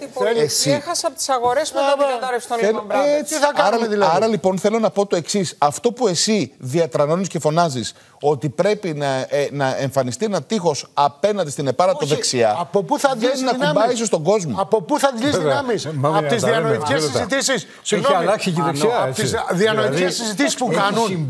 Από πού θα αντλήσει δυνάμεις το κάθε κόμμα; Δηλαδή, άμα δεν είναι διασυνδεδεμένο και να μαζεύει δύναμη από τους νεολαίους, από, του, από τα πανεπιστήμια. Γιατί αποδείχθηκε, από Νίκο, τους αγρότες, αποδείχθηκε από το ότι τόσα χρόνια όλο αυτό μένει στη θεωρία. Μα, ε, Πώς δεν υπάρχουν. Δεν υπάρχουν. Το ΚΟΚΟΕ γιατί δυναμώνει; Αυτό που λέει ο Επειδή Νίκος- είναι το μόνο διασυνδεμένο με κινήματα. Αυτό Άλλο που είναι λέει ο αυτό. Νίκος είναι σωστό. Όμως η, Κατάλαβες. η διασύνδεση, Νίκο, με τα κινήματα και εσύ θα να το ξέρεις και καλύτερα. Δεν γίνεται ντε και καλά μόνο όταν πηγαίνεις. Πρέπει να εκφράζεις. Περιστασιακά. Έτσι, Να συμφωνούμε, εκφράζεις συμφωνούμε. και αυτό που κινηματικά διεκδικεί κάποιος. Μα σου είπα, Όταν εκτός λοιπόν από την σήμερα για την αλτερνατίβα- ακρίβεια, αυτός ενέφη Αυτός σου είπα, 2024 Κώστα μου. η λαϊκή οικογένεια πληρώνει τους φόρους που θεσπίστηκαν το 2015 και τους διατηρεί η Νέα Δημοκρατία και όλα αυτά τα χρόνια ξέρει από πότε τα πληρώνει. Δεν ξεκίνησε να τα πληρώνει χτες, ούτε ναι. προχθές, ούτε από πριν από 5-6 χρόνια. Όταν έχουμε μια σειρά ζητήματα που αφορούν, που αφορούν το, τις συνθήκες διαβίωσης, ε, τα funds, τους πληστηριασμούς, πώς θα πας, να το πω έτσι λαϊκά, με τι μούτρα θα βγεις στο κίνημα και στον κόσμο να του Σου πεις ότι είπα, εγώ σε εκτός εκφράζω; από την Ακριβώς ανα- όπως το λες. Εκτός Τι από την συζητάμε έλλειψη τώρα, εναλλακτική. Γιώργο, Γι' αυτό- οφείλω το λόγος στον έχει και Ραγκύρη Σου είπα, και έχω. Νίκο. εκτός από την έλλειψη εναλλακτικής της αλτερνατίβας που σου είπα που λείπει, το δεύτερο μεγάλο είναι τα κινήματα. βέβαια. Το πρώτο το είπα. Όχι, δεν δεν- έχουν απαντήσει. σου λέει κάτι άλλο, Κώστας. Όχι, αυτό λέει. Φόρου του Όχι, ΣΥΡΙΖΑ η δεν σου λέει κυβέρνηση αυτό. της Νέας Δημοκρατίας τους μείωσε. Εγώ- Όλα- Και εγώ- ο βασικό μισθό η κυβέρνηση της Νέας Δημοκρατίας τον αύξησε. Τη σύνταξη μετά από πολλά χρόνια κρίσης στη Νέα Δημοκρατία του. Ποιο βασικό μισθό. Ε, Δεν έχει σημασία, το έκανε Πληρώνει όμως. με τη Μετά Νέα την Δημοκρατία. κρίση. Πληρώνει με Εντάξει. τη Νέα Θέλω να Δημοκρατία πω, η αριστερά- τέσσερις φορές. Έχει χάσει το Η 40% αριστερά του έφερε τους εισοδήματός φόρους- του. ρε, Η εσύ, αριστερά Γιώργο. έφερε τους φόρους με το μνημόνιό της. Πληρώνει, Η Γιώργο μου, σου φιλελεύθερη ξαναλέω. κυβέρνηση Σου ξαναλέω. Πληρώ, μείωσε έχει τους φόρους. χάσει το 40% του εισοδήματός της η λαϊκή οικογένεια με τη Νέα Δημοκρατία και τη δεξιά που λε. Μάλιστα. Είχε χάσει και με το ΣΥΡΙΖΑ, χάνει τώρα, συνεχίζει να χάνει. Έχει χάσει τα αυγά και τα πασκάλια. Έλα, Αργύρη. Λοιπόν, τρεις παρατηρήσεις. Το γεγονός ότι ήδη κυβερνάει πέντε χρόνια η Νέα Δημοκρατία θεωρώ ότι αρχίζει σιγά σιγά και αμβλύνει τις διαφορές, τουλάχιστον στο πολιτικό προσωπικό αλλά και στην κομματική βάση του Πασό και του ΣΥΡΙΖΑ. Οι μεγάλες διαχωριστικές γραμμές του παρελθόντος δεν νομίζω ότι θα υπάρχουν στο μέλλον. Ωστόσο, εξακολουθώ να πιστεύω ότι οποιασδήποτε όσμωση δεν μπορεί να γίνει ούτε με όρους στρατηγών, αρχιστρατήγων, λοχαγών ή λοχιών. Δεν μπορεί ούτε οι λοχίες ούτε οι στρατηγοί να έρθουν και να συγκολήσουν αυτούς τους δύο χώρους. Αυτό που λείπει, κατά τη γνώμη μου, είναι ένα νεωτερικό πολιτικό επικοδόμημα. Νεωτερικό πολιτικό επικοδόμημα, ενώ διαρκώς δίνει ευκαιρίες η Νέα Δημοκρατία, αυτή τη στιγμή δεν εκφράζεται ούτε από τον Πασούκ ούτε από τον ΣΥΡΙΖΑ. Δύο παραδείγματα. Θεσπίζεται το γρηγορόσημο αυτή τη στιγμή στα απογευματινά ιατρία στα νοσοκομεία. Εγώ δεν βλέπω συγκροτημένη αντιπρόταση, όχι μόνο καταγγελία και άρνηση, συγκροτημένη αντιπρόταση ούτε από το Πασούκ ούτε από, την, ε, από το ΣΥΡΙΖΑ. Δεύτερον, το ζήτημα της ακρίβειας. Εδώ είναι, Αργύρι, επίτρεψέ είναι, μου, είναι συνειδητή. 30 δευτερόλεπτα είναι συνειδητή κατά υπάρχει τη και γνώμη μου. διχασμό. Νίκο. Ο Δερβένης επετέθη Νίκο. στο ιστορικός στέλεχο του Πασόκ, επετέθη στον εκπρόσωπο του Πασόκ για αυτό που λέει τώρα ο Αργύρης. Θα το δούμε. Πολύ σωστά. Θα πάμε Ναι, να αλλά φτάσουμε. αυτό Γιατί είναι έκανε το, το αυτό έξτρα είναι και το το ζήτημα. Πασόκ, ρε, Ακούστε, Νίκο. τώρα, Ναι, η- αυτό το η- λόγο. ακούστε, το τέλος της Ο Παπαδόπουλος ιστορία. δεν έκανε αυτά. Ναι, ναι. Ακούστε, όσο κάποιοι προσπαθούν να μας πείσουν, το τέλος της ιστορίας δεν έχει επέλθει. Οι κοινωνίες παραμένουν ταξικές, έχουν ταξικές διαρθρώσεις και αυτή τη στιγμή ένας νοτερικό πολιτικός λόγος σημαίνει ότι ιεραρχώ πολιτικές, ιεραρχώ προτάσεις και αποφασίζω ποιους θα εκφράσω και ποιους όχι. Η έννοια της γενικής πολυσυλλεκτικότητας που τους βάζω όλους σε ένα κουβά και έτσι πάω να κάνω πολιτική έχει τελειώσει. Αν το καταλάβουν κάποια στιγμή Πασό και ΣΥΡΙΖΑ, ναι, θα εκφράσουν μια νέα κεντροαριστερά. Όσο δεν το καταλαβαίνουν και πιστεύουν ότι με τη λογική του κουβά πάω λίγο δεξιά, λίγο αριστερά, λίγο κέντρο, λίγο μπρος, λίγο πίσω, τσαλαβουτάω εδώ από οπουδήποτε για να πάρω κανένα ψηφαλάκι, στο τέλος δεν βγαίνει τίποτα. Πεδίο δόξη λαμπρότα από ψηφοδέλτιο των ευρωεκλογών που θα έχουν τα πάντα. Αμέσως. multicultural. Απλώς, Ωραία, λοιπόν, ο Αργύρη. ελάχιστος κοινός παρονομαστής, αυτός πολύ σωστά λέει η Μαρία, Θέλω δεν μπορεί να συνεχίσει Θέλω να το υπάρχει. σχολείο σου όμως και σε αυτό. Δηλαδή, εδώ γίνεται μια κουβέντα που έχει. Εντάξει, είναι ο χώρος της αριστεράς, είναι ο χώρος της κεντροαριστεράς. Ένας χώρος όπου έχει συνηθίσει ε, να ζυμώνεται, να βασανίζει το μυαλό του, να συζητά πολύ, ε, να έχει και πολύ, πολλές φορές περισσότερη θεωρία όλα αυτά τα, τα χρόνια. Είναι απειλή πια και ε, έτσι θέλω την άποψή σου. Είναι απειλή αυτό η επάρτη δεξιά και ότι επειδή είναι ο Μητσοτάκη στην, ε, στην εξουσία πρέπει σώνει και καλά να υπάρξει. Όχι, κατάλαβες, να πέσει Συμφωνώ ο Μητσοτάκης. απόλυτα. Άλλο ένα εδώ ζήτημα. χάνουμε, το, χάνουμε την ουσία που είναι ότι δεν έχεις αντεπιχείρημα στο Μητσοτάκη. Λοιπόν, να σας Δεν πω, είναι ο ίδιος ο Μητσοτάκης. συμφωνώ απόλυτα μαζί σου, Μάνο. Αν μιλήσεις αυτή τη στιγμή, όχι απλά σε 20 30 και σε 40 και ξεκινήσεις τη φρασιολογία σου. Η δεξιά Έκανε εκείνο. Η δεξιά έκανε το άλλο. Να σου πω κάτι. Αντανακλαστικά, από κάποιους θα εισπράξει αθυπομηδίαμα, από τους άλλους αδιαφορία. Ναι. Ξαναλέω, άσε τις ταμπέλες. Κάποιοι μπορεί να σου πούνε ότι κάνεις και αυτοκριτική, μιλώντας για δεξιά. Ωραία. Α αφήσουμε λοιπόν αυτά τα σπιρτόκουτα και ας αφήσουμε αυτή την παροχημένη διάκριση. Κοιτάξτε, υπάρχει ο άξονας πολιτικής ε, αριστερά-δεξιά, αλλά δεν είναι ο μοναδικός σήμερα. Και ούτε τα πάντα εκφράζονται μέσα από αυτό. Ξαναλέω, ποιο είναι το δικό σου πολιτικό επικοδόμημα σε ζητήματα καθημερινότητας, σε ζητήματα κεντρικά κομβικά. Τι εννοείς δημόσια υγεία πλέον; Τι εννοείς δημόσια εκπαίδευση σήμερα; Τι εννοείς ότι θες αυτή τη στιγμή μια πολιτική αναδιανομή εισοδημάτων; Ποια είναι η πολιτική αναδιανομή εισοδημάτων; Ποιος την εκφράζει, από πού; Ναι. Παραγωγή. Εάν αυτή τη στιγμή δεν την εκφράσει την πολιτική της αναδιανομής μια σύγχρονη κεντροαριστερή κυβέρνηση, υποψήφια κυβέρνηση, έτσι, ένα, ένας σύγχρονος κεντροαριστερός πόλος, ποιος θα τον εκφράσει; Ναι, αλλά είναι και αυτό Εδώ που είναι πολύ, Τα ερωτήματα είναι πολύ συγκεκριμένα. Η ακρίβεια, πολύ σωστά λέει ο Κώστας. Αυτή τη στιγμή το έχουμε καταλάβει όλοι. Ότι φλερτάρει με την ακρίβεια η Νέα Δημοκρατία. Γιατί έχει υπερπαραγωγή κερδών στην ουσία. Mm. Κοιτάξτε το πρωτογενές πλεόνασμα. Κοιτάξτε την υπεράυξηση ε, εσόδων 450 εκατομμύρια παραπάνω από τα προπολογιστέντα. Ναι. Γιατί, γιατί η ακρίβεια έχει υψηλότερο ΦΠΑ, σαφέστατα περισσότερα έσοδα ναι. για το κράτος. Ναι. Άρα, όταν κάποιοι στην ουσία παίρνουν τα πολλά και μοιράζουν τα ελάχιστα με μια μικρή αύξηση στο βασικό μισθό, τότε αυτές δεν είναι πολιτικές αναδιανομής. Ναι. Και αν έχεις σοβαρούς πολιτικούς. Και αν έχει και αν έχεις σοβαρή κεντροαριστερά, δυστυχώς δεν έχεις, αυτά τα αναδεικνύει και τα αναδεικνύει με αντιπρόταση, ξαναλέω. Με αντιπρόταση. Με το σημείο να πω. Να πω. Ε, θέλω να σου πω όμως, γιατί α, αφορά περισσότερο και σε αυτό που είπε ο Κώστας πριν. Ο, α, όλοι αυτοί οι οποίοι αναμετρούνται τώρα στην κεντροαριστερά, απέναντι στην ε, Νέα Δημοκρατία, έχουν κυβερνήσει. Δηλαδή, θέλω να πω, τώρα τι γίνεται, γιατί το θυμήθηκα τώρα έτσι όπως το λέει και όπως το είπε και ο Κώστας, να σου θυμίσω για τους πληστηριασμούς και τα φαντ. Ότι ΣΥΡΙΖΑ και η Νέα Δημοκρατία όχι απλώς έχουν συμπλέψει. Όχι απλώς έχουν συμπλέψει έχουν, έχουν γίνει αμήνυτα ε, τα, τα, ο, Μαζί τραγικά πράγματα Συμφωνώ και, με, ε, ε, ε, και, με, ε, και με τη στήριξη του ΣΥΡΙΖΑ. Έτσι, ε, και με τη Νέα Δημοκρατία. Και με πρόσχημα την προστασία τη πρώτη κατοικία. Ο νόμο ιδίω για τι πρακτικέ, α πούμε. Ο νόμο για του σερβισέρου ΣΥΡΙΖΑ τον έφερε. Δημοκρατία. Συμφωνούμε. Μάλλον, μισό λεπτό. Μια τελευταία παρατήρηση. Κανεί δεν προέρχεται από πολιτική παρθενογέννηση. Κανεί δεν μπορεί, ιδίω όταν μιλάμε για του συγκεκριμένου πολιτικού χώρου, να ζητάει το παπικό αλάθητο. Δεν υπήρχε, δεν υπάρχει και δεν θα υπάρξει ποτέ στην πολιτική. Ωστόσο, ξαναλέω, δεν έχει τελειώσει η ιστορία. Έχουμε ταξικές κοινωνίες παντού παγκόσμια. Προφανώς. Έχουμε ζήτημα ιεράρχησης πολιτικών επιλογών. Προφανώς. Εάν κάποιος μπορέσει να κάνει σωστή ιεράρχηση με προοδευτικό πρόσημο, γιατί σήμερα δεν υπάρχει, σας έφερα συγκεκριμένα παραδείγματα. Εάν μπορεί να κάνει ιεράρχηση με προοδευτικό πρόσημο, εδώ είναι. Μάλιστα. Λοιπόν, ε, θέλω να πω το εξής. Όντως αυτό που είπε ο Αργύρης, υπάρχει μια αύξηση των φορολογικών εσόδων. Είναι αλήθεια. Κατά σύντοση, σήμερα δημοσιεύεται η έκθεση του Διεθνούς Νομισματικού Ταμείου για την παραοικονομία. Mm-hmm. Η παραοικονομία στην Ελλάδα από 30% που ήταν τα δύο προηγούμενα χρόνια έχει πέσει στο 16%. Ναι. Αυτό συμβαίνει γιατί υπήρξαν συγκεκριμένες πολιτικές. Mm. Και επέκταση των ηλεκτρονικών μέσων, αλλά και αυστηρότερη τιμώρηση των οικονομικών εγκλημάτων και η ελαστικοποίηση της εργασίας που επιτρέπει σε συνταξιούχους νομίμως πλέον να δουλεύουν και όχι παρανόμως κτλ. Θέλω να πω πίσω από αυτό υπάρχει μια ολόκληρη πολιτική. Δεν είναι απλώς, δεν είναι αύξηση των φόρων η οποία το προκαλεί αυτό. Γιατί το λέω τώρα αυτό; Στην κουβέντα συζητάμε τώρα για τα χοντρά ζητήματα. Εγώ, ας πούμε, θα άκουγα με πολύ μεγάλο ενδιαφέρον μια συζήτηση που δεν γίνεται από τα κόμματα της κεντροαριστεράς, της αριστεράς. Εμένα με ενδιαφέρει βασικά η κεντροδεξιά και η δεξιά. Ναι, ναι, εντάξει. Ναι. Όχι να απορροφήσουμε ευρωπαϊκά κονδύλια για να αναπτυχθούμε. Δεν και καλά. Αλλά πού θα τα απορροφήσουμε και ποιες προτεραιότητες θα δώσουμε για το μέλλον που θέλουμε εμείς να πάει η ελληνική οικονομία.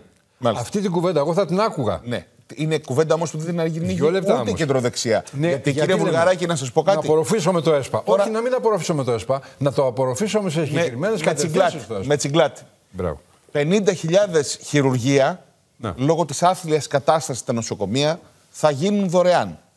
Από πού θα γίνουν δωρεάν, από το Ταμείο Ανάκαμψης. Και ε, ερωτώ, είναι δουλειά και στόχος του Ταμείου Ανάκαμψης να καλύπτει τις τρύπες αυτού ναι. του σάπιου συστήματος υγείας. Αυτό λοιπόν είναι μια πολύ καλή συζήτηση. Ε. Που θα ήταν αυτή, θα ήταν πραγματικά προγραμματική κουβέντα να γίνει. Σωστά. Γιατί όλα αυτά που λέει ο φίλος Μονίκος, τα κινήματα, τα λοιπά, η εφημερίδα στην Κολόση, επί Τραγιάσκα, το ταγάρι. Έλα, ρε, τελειώσανε. σταμάτα μωρέ Τελειώσανε τώρα. αυτά. Σταμάτα, ασχολήσουμε με τη Τελειώσανε. δεξιά. Δηλαδή το Ασχολήσουμε αμπέχονο, τη το δεξιά. ταγάρι, Άσε. το έχουμε από εδώ από εκεί. Ασχολήσουμε τη Έτσι, δεξιά πάνω. με τις παρακολουθήσεις. Βγήκανε, Νίκο. Ασχολήσου με τα τέμπη. Μισό λεπτό.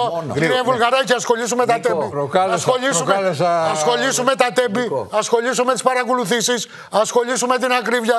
Ασχολήσου με την Για πύλη. τις πρακτικές- Άσε όλα τα για άλλα. τις πρακτικές όμως δεν Ασχολήσου με μιλάς. τις Πέρα απ' πρακτικές. ασχολ- όχι, όχι. Με Να τι ασχοληθεί και ο πρακτικές. ΣΥΡΙΖΑ Πέρα από αυτά που λέει ο Μα Νίκος. τι λέτε τώρα ξαφνικά. Πέρα από αυτά που λέει ο Νίκος και εγώ συμφωνώ. Μα με συγχωρείς τώρα. Θέλω να πω με Τόση αφορμή ώρα δεν στον μιλάω. Νίκο. Με Γιατί, αφορμή. συγγνώμη Κώστα, ψάχνω να δω τι έχει γίνει με τον Ασάντ. Είπε τόση ώρα δεν μιλάω. Ε, γιατί ψάχνω να δω τι έχει γίνει με τον Ασάντ. Ξέρετε ότι αυτή τη στιγμή το Συμβούλιο στη Βρετανία, το δικαστικό, θα αποφασίσει αν θα τον εκδώσει στη ΣΥΠΑ. Που είναι πλήγμα για την ελευθεροτυπία. Σωστό, σωστό. Άρα λοιπόν πρέπει να το δούμε και αυτό. Ωραία. Αντί να ασχολούμεθα με το τι θα λέει ο Βουλγαράκης, αν είναι παροχημένα. Δεν είναι έτσι. ο- η αριστερά. δεν είναι έτσι. Όχι, η αριστερά. Μιλάς Νίκο, δεν απότομα είναι και με έτσι. πληγώνεις. Η Νίκο, δεν αριστερά, είναι έτσι. όχι. Επίτρεψέ μου. Ναι. Δεν είναι έτσι. Ένα δευτερόλεπτο. Δεν είναι Η έτσι. αριστερά για να αναπνεύσει πρέπει να φέρει το μέλλον. Αυτό έκανε κάθε Ποιο φορά. είναι το μέλλον, Βρενικό; Να σου πω τι είναι; Να σου πω κάτι. Να σου πω. Θα σου το ξαναπώ. Το μέλλον ποιο είναι; Όταν ο ΣΥΡΙΖΑ έφερε τις πρακτικές. Ας το ΣΥΡΙΖα, μωρέ. Σε παρακαλώ. Ας το ΣΥΡΙΖα. Ε, Ο ΣΥΡΙΖΑ και είναι αριστερά. Α το ΣΥΡΙΖα Ο και την ΣΥΡΙΖΑ αριστερά. και είναι Όλους αριστερά. λέω εγώ. Όχι όλους. Τότε ποια συγχωρείς. συζήτηση να ανοίξεις; Ποιο θα είναι, θα είναι Ξέρεις. τις τεχνολογικές επαναστάσεις που έρχονται. Ποιες τεχνολογικές επαναστάσεις, Βρενικό μου; Τι θα φέρει η τεχνητή Ποιες νοημοσύνη; τεχνολογικές Θα επαναστάσεις. αλλάξει το 40% του Ποια εργατικού τεχνητή δυναμικού; νοημοσύνη; Επί ΣΥΡΙΖΑ και Άμα επί Νέας δεν δούμε Δημοκρατία. αυτά. Επί ΣΥΡΙΖΑ και επί Νέας Δημοκρατίας. Τότε- Τα παιδιά κάνουν, υπάρχουν σχολεία που κάνουν Τότε, μάθημα κοντέινερ. τότε η δεξιά θα ηγεμονεύει συνεχώς αν δεν δούμε το μέλλον που έρχεται. Θες το να οποίο- καταλάβεις κάτι. Το οποίο απειλεί την Θες κοινωνία. να καταλάβεις κάτι. Εγώ δεν καταλαβαίνω. Θες να καταλάβεις κάτι. Ξέρεις ότι η τεχνητή νοημοσύνη να καταλάβεις θα κάτι. αλλάξει το 40% Θες να των καταλάβεις επαγγελμάτων. κάτι. Θες να καταλάβεις Άμα κάτι. η αριστερά το καταλάβει. Μιλάς είναι διαρκώς. τελειωμένη. Μιλάς διαρκώς. Μα τι και μιλάω. άκουσε με λίγο σε αυτό. Άκουσε, α- άκουσε λίγο σε αυτό. Ναι. Γιατί έχει σημασία του. Ναι. Γιατί είναι, εγώ θα, θα πω ότι τώρα είναι προσβάλλει και ένα συγκεκριμένο κοινό. Για ποια κοινό; ηγεμονία της δεξιάς μιλάς; Για ποια ηγεμονία. Αυτή που της λέει το 41%. Δεν υπάρχει κόσμος που λέει. δεν υπάρχει κόσμος να κρίνει και να ψηφίσει. Μα εγώ ως δημοσιογράφο. Ποια ηγεμονία; Ω δημοσιογράφος λες Οφείλω να κρίνω ότι αυτή τη στιγμή έχω ένα κυβερνητικό κόμμα Το οποίο είναι εκλεγμένο. το οποίο είναι εκλεγμένο Ναι. και το οποίο γύρω-γύρω έχει δορυφόρους. Παλαιότερα είχα ένα σύστημα δικομματικό Ναι. που είχα ένα μεγάλο κόμμα Μάλιστα. που το άλλο κόμμα είτε στα 4 είτε στα 7 μπορούσε να το αντικαταστήσει. Ναι. Τώρα έχουμε ένα μεγάλο κόμμα που στην πολιτική επιστήμη, στην πολιτική, όπου, όπου θες πες το, Αυτό που είπα στην αρχή. γίνεται εγώ. ναι. δορυφορικό Έτσι, σύστημα. Ωραία. Έχεις ένα Και κεντρικό σου λέω κόμμα βρενίκο μου. και τέτοιο. Και σου λέω Αυτό πώς βρενίκο να το μου. πω; Τα βάζει λοιπόν κάποιο να το πω; κάτω. Είναι κακό η έννοια της ηγεμονίας. Ένα τηλεθεατής. Είναι κακό. Θέλω να σου πω ότι αυτό που προτείνεις πρέπει Μα να δεν μπορεί, απαντάς τι σε εννοώ. ερωτήματα. Δεν είναι ιδεολογικό. Δεν το είναι θέμα. κακό πράγμα η ηγεμονία. Ο, ο ψηφοφόρος, ο υποψήφιος ψηφοφόρος για τις επόμενες εκλογές βάζει κάτω ένα χαρτάκι και σου λέει τι πλήρωνα εφορία. Συμφωνούμε. Τι πλήρωνα εφορία επί ΣΥΡΙΖΑ, τι πληρώνω σήμερα; Ρε, Μάνο, ποιος μου δίνει, τι αυτά μου τα δίνει οποία και λέω τίποτα εγώ άλλο. ότι οι εκλογές κρίνονται στην τσέπη, μη μου το λες. Αλλά λέω η αριστερά για να ανακάμψει θα πρέπει να δει το μέλλον που έρχεται, να φτιάξει ένα δικό της αφήγημα, Ναι. να φτιάξει ένα δικό της πολιτικό σχέδιο το οποίο να απαντάει στις κοινωνικές ανάγκες της επικαιρότητας που λες, από την ακρίβεια μέχρι οτιδήποτε άλλο αφορά την επικαιρότητα, τους αγρότες, τα ομόφυλα, τα πάντα και ταυτόχρονα όμως να έχει ένα εθνικό αφήγημα σε σχέση με το μέλλον που έρχεται, γιατί ο κόσμος μας αλλάζει ραγδαία με την κλιματική κρίση, με τις γεωστρατικές ανακατατάξεις, με την ε, τεχνητή νοημοσύνη. Άκου τώρα πόσο θεωρητικό είναι αυτό που λοιπόν, αναλύεις. άμα δεν έχει θεωρία, και στο λέω αυτό γιατί σήμερα, Έρχομαι Μαρία μέσα. σαν σήμερα, Ναι. το 1848 δημοσιεύτηκε το Κομμουνιστικό Μανιφέστο. Ναι. Τότε λοιπόν είχε μια ολόκληρη θεωρία. Ναι. Ένα φάντασμα πλανιέται πάνω από, το, από την Ευρώπη, το φάντασμα του κομμουνισμού. Κατέβασε μια ολόκληρη Νίκο, θεωρία εντάξει. και άλλαξε τον κόσμο. Νίκο, εντάξει. Σήμερα η αριστερά Άσε μας να πρέπει πάμε να στο βρει μια 2024. παγκόσμια εντάξει, θεωρία. Ε, εντάξει, αλλά δεν έχουν όλη την ίδια αγωνία για την αριστερά. Αυτό έχω σου εγώ. λέω. Ε, εντάξει, αν την έχεις Βρενίκο μου όμως δεν πάω φάμε όλη την εκπομπή την αγωνία σου. Ε, ωραία, Δηλαδή, τώρα σταματάω να μιλάω. Έχουμε και τους λογαριασμούς που έρχονται στο τέλος του Συμφωνώ μήνα. μαζί σου. Δεν έχω δηλαδή. Αυτό είναι Δεν προτεραιότητα. ξαπλώνω το βράδυ και λέω με τη σύζυγό μου Αχ, Θεέ μου τι θα γίνει αύριο στην Μάνο μου, αριστερά. αυτό που λες είναι η Ε, μα τώρα, προτεραιότητα. έλα, έλα. Αλλά για να Έλα, ανακάμψω. Εντάξει, Νίκο, δεν με νοιάζει να ανακάμψω. ανακάμψει. Δηλαδή, πώ να σου πω. Ένα, ένα, μικρό, ένα φυσήξουμε πολύ. τα Για μισό λεπτό σας παρακαλώ. Ένα- Γιατί εδώ το κάναμε think tank, δεν είναι για να. Θα Ναι, φυσήξουμε για να, τα για να 176 αποσυντηρευτούμε κεράκια λίγο του- από Δεν είναι αυτό. έτσι. Θέλω να πω ένα Αφού σχόλιο. γιορτάσαμε τα 176 Ε, κερά και τα φυσήξαμε του Κομμουνιστικού Μανιφέστου, να πάμε σε κάτι άλλο. Αυτό που εδώ και πολύ ούτε καιρό αυτός κάποιοι αρέσει, βέβαια. χαρι... Έλα, βρε, Νίκο μου. χαριτολογώντας- Αυτό που κάποιοι χαριτολογώντας εδώ και πολύ καιρό λένε 41% ας πούμε προκειμένου να μειώσουν και την κυβέρνηση κτλ. Ε, παραπέμπει και κάπου αλλού. Στο ότι κάτι έχει γίνει λάθος, γι' αυτό το 41% να παραμένει. Και να μην είναι μεν 41, αλλά να στις δημοσκοπήσει 30-35 και τέλος πάντων να είναι πάλι πρώτη Νέα Δημοκρατία. Το πρόβλημα λοιπόν με την κεντροαριστερά είναι ότι έχει χάσει το αφήγημά της μετά την κατάρρευση των Lehman Brothers. Ήρθε, ήρθε η ρευστότητα των μνημονίων όπου ακόμα και όταν κάποιοι πίστεψαν την ανατροπή, ήρθε ο ΣΥΡΙΖΑ και κάνει κυβέρνηση με τους ανεξάρτητους Έλληνες, εφαρμόζοντας μνημόνια, θολώνοντας εντελώς το μήνυμα. Δηλαδή, έλεγες κεντροαριστερή κυβέρνηση, πρώτη φορά αριστερή κυβέρνηση και η Υπουργός Άμυνας στον πάνω καμένο. Αυτό, δηλαδή, αυτό έλεγα πριν. Βέβαια, το λάθος. Αυτό λοιπόν το πράγμα δεν μπορεί να διηλύσεται από, από το μέσο πολίτη μέσα σε τρία χρόνια και ξαφνικά ας πούμε, να το θεωρεί και φυσιολογικό. και το πρόβλημα λοιπόν της αριστεράς ποιο είναι; Από τη στιγμή που βλέπεις ότι τα πράγματα αυτά που γίνονται δεν σ' αρέσουν, να εγκαλείς την κυβέρνηση, αλλά θέλει δουλειά για να το κάνεις αυτό. Γιατί τώρα να πας να εγκαλέσεις και να πεις: Ωραία, γιατί να πάνε αυτά τα χρήματα από το Ταμείο Ανάκαμψης εκεί, αλλά να εγκαλέσεις την κυβέρνηση και να τη ρωτήσεις. Κύριε Μητσοτάκη, ποιο είναι το παραγωγικό μοντέλο της χώρας για το πρωτογενή τομέα; Οι άνθρωποι σηκωθήκαν και κάνανε 500 χιλιόμετρα για να έρθουν να φωτογραφθούν χθε στο Σύνταγμα; Όχι. Για να γνωστοποιήσουν ένα πρόβλημα. Όσο λοιπόν η αριστερά και η κεντροαριστερά και τα κόμματα της αντιπολίτευσης χάνουν τη δυνατότητά τους να αφυπνίζουν τον κόσμο ότι η δημοκρατία μπορεί να σταλίσει, θα έχουν μια διοίκηση όπως τη βλέπουμε τη διοίκηση Μητσοτάκη και θα αλλάζουμε διαχειριστές πρωθυπουργούς. Δεν θα έχουμε οραματιστές πρωθυπουργού. Συμφωνώ απόλυτα μαζί σου. Ε, Έλα καιρό. Εγώ θέλω να συνοψίσω την κουβέντα και τα επιχειρήματα και του Γιώργου Βουλγαράκη και του Νίκου Φελέκη, mm-hmm. λέγοντας το εξής: Ότι πράγματι πρέπει να γίνει μια συζήτηση για το μέλλον. Όχι όμως με αφετηρία το μανιφέστο του κομμουνιστικό. Για ποιο λόγο, για ποιο λόγο, για ποιο λόγο. Δεν το λέω, δεν το λέω να απορρίψω. Να απορρίψω. Δεν το είπα, το είπα έτσι. Ναι, δεν, το, δεν το λέω όμως να απορρίψω μια επιχειρηματολογία από τα αριστερά. το λέω ως προς το εξής. Ακόμα και στην Ελλάδα που μια αριστερή κυβέρνηση που όμνιε πάνω τα κομμουνιστικά μανιφέστα, άσχετα αν mm-hmm. ήταν πιο ανανεωτικοί κτλ. Απέτυχε στην πράξη. Δηλαδή, έφερε μνημόνια, έφερε δυστυχία, έφερε ακρίβεια, έφερε πόνο, ε, έφερε δυσκολίες στον ελληνικό λαό. Θέλω να πω λοιπόν, ε, όντως προσπαθώντας να ε, ενώσω αυτά τα επιχειρήματα, ότι η συζήτηση, για παράδειγμα, για το Ταμείο Ανάκαμψης θα έπρεπε να είναι μια πανεθνική συζήτηση. Ακριβώς. Να αφορά όλα τα κόμματα, να αφορά και τις επόμενες γενιές και να υπάρχει μια συμφωνία διαγενεϊκή για το μέλλον. Είπε ο Νίκος πολύ σωστά για ποια αγροτική πολιτική θα έπρεπε να μιλήσουμε. Την ΚΑΠ θυμίζω ότι την διαπραγματεύτηκε ο ΣΥΡΙΖΑ, άρα δεν δικαιούται τώρα αυτή η αριστερά να βγει στους δρόμους και να αντιδράσει για την αγροτική πολιτική αυτή. Ο Μητσοτάκης προσπάθησε και κάτι διόρθωσε εκεί. Όμως το μέλλον και το αγροτικό είναι μπροστά μας. Κλείνοντας, θέλω να πω το εξής. Η πανδημία ήταν ένα τεράστιο και ένα μεγάλο crash test και για την ε, Ευρώπη και για τη χώρα ως σύνολο, αλλά και για τους πολίτες. Θυμίζω τότε, λέγαμε ότι η προτεραιότητα της χώρας μας θα πρέπει να είναι το δημόσιο σύστημα υγείας, οι ήρωες γιατροί και οι ήρωες που προσφέρουν ναι, κοινωνικές ναι. υπηρεσίες. Και πράγματι θα έπρεπε να είναι στο επίκεντρο. Πράγματι, ο οδοκαθαριστή θα έπρεπε να είναι στο επίκεντρο. Ήταν αυτός που όλοι ήταν εμείς ήμασταν κλεισμένοι στην ασφάλειάς μας, ήταν έξω και έκανε κοινωνική εργασία. Ο γιατρός όμως ακόμα περισσότερο. Και για μένα, και γι' αυτό δεν είμαι και πολύ ευχαριστημένος με την λύση που προκρίνεται για τα. Θα πάμε μετά σε γιατρία για έναν λόγο. Ναι. Διότι δεν είναι δυνατόν να πληρώνεις μια ζωή ασφάλεια και μία φορά που θα χρειαστείς χειρουργείο να το παίρνεις μετά από πέντε χρόνια. Έτσι. Και όταν θα έρθει το, χειρουργείο, στο τέλος να, να σου λένε πλήρωσε το. Και χωρίς είναι αδιανόητο αυτό. Να πεις δεν θα πληρώσω δημόσια ασφάλεια, θα επιλέξω ένα ιδιωτικό σύστημα. Ναι, ναι. Σωστό. Να τα πληρώσεις και τα δύο, άμα θες να κάνεις. Μανώ, ε, επειδή λέμε για το Ταμείο Ανάκαμψης, είπε και ο κ. Βουλγαράκης πριν για τα έσοδα. Όχι, δεν λέμε, το έχουμε ανοίξει τώρα πάρα πολύ και ναι, θέλω ναι, να επιστρέψουμε θέλω λίγο στα. Θέλω να, να πω κωδικοποιημένα ένα-δύο πράγματα. Εγώ δεν ξέρω από τότε με θυμάμαι, ήμουν πολύ μικρός βέβαια και εσύ και αρκετοί από εδώ.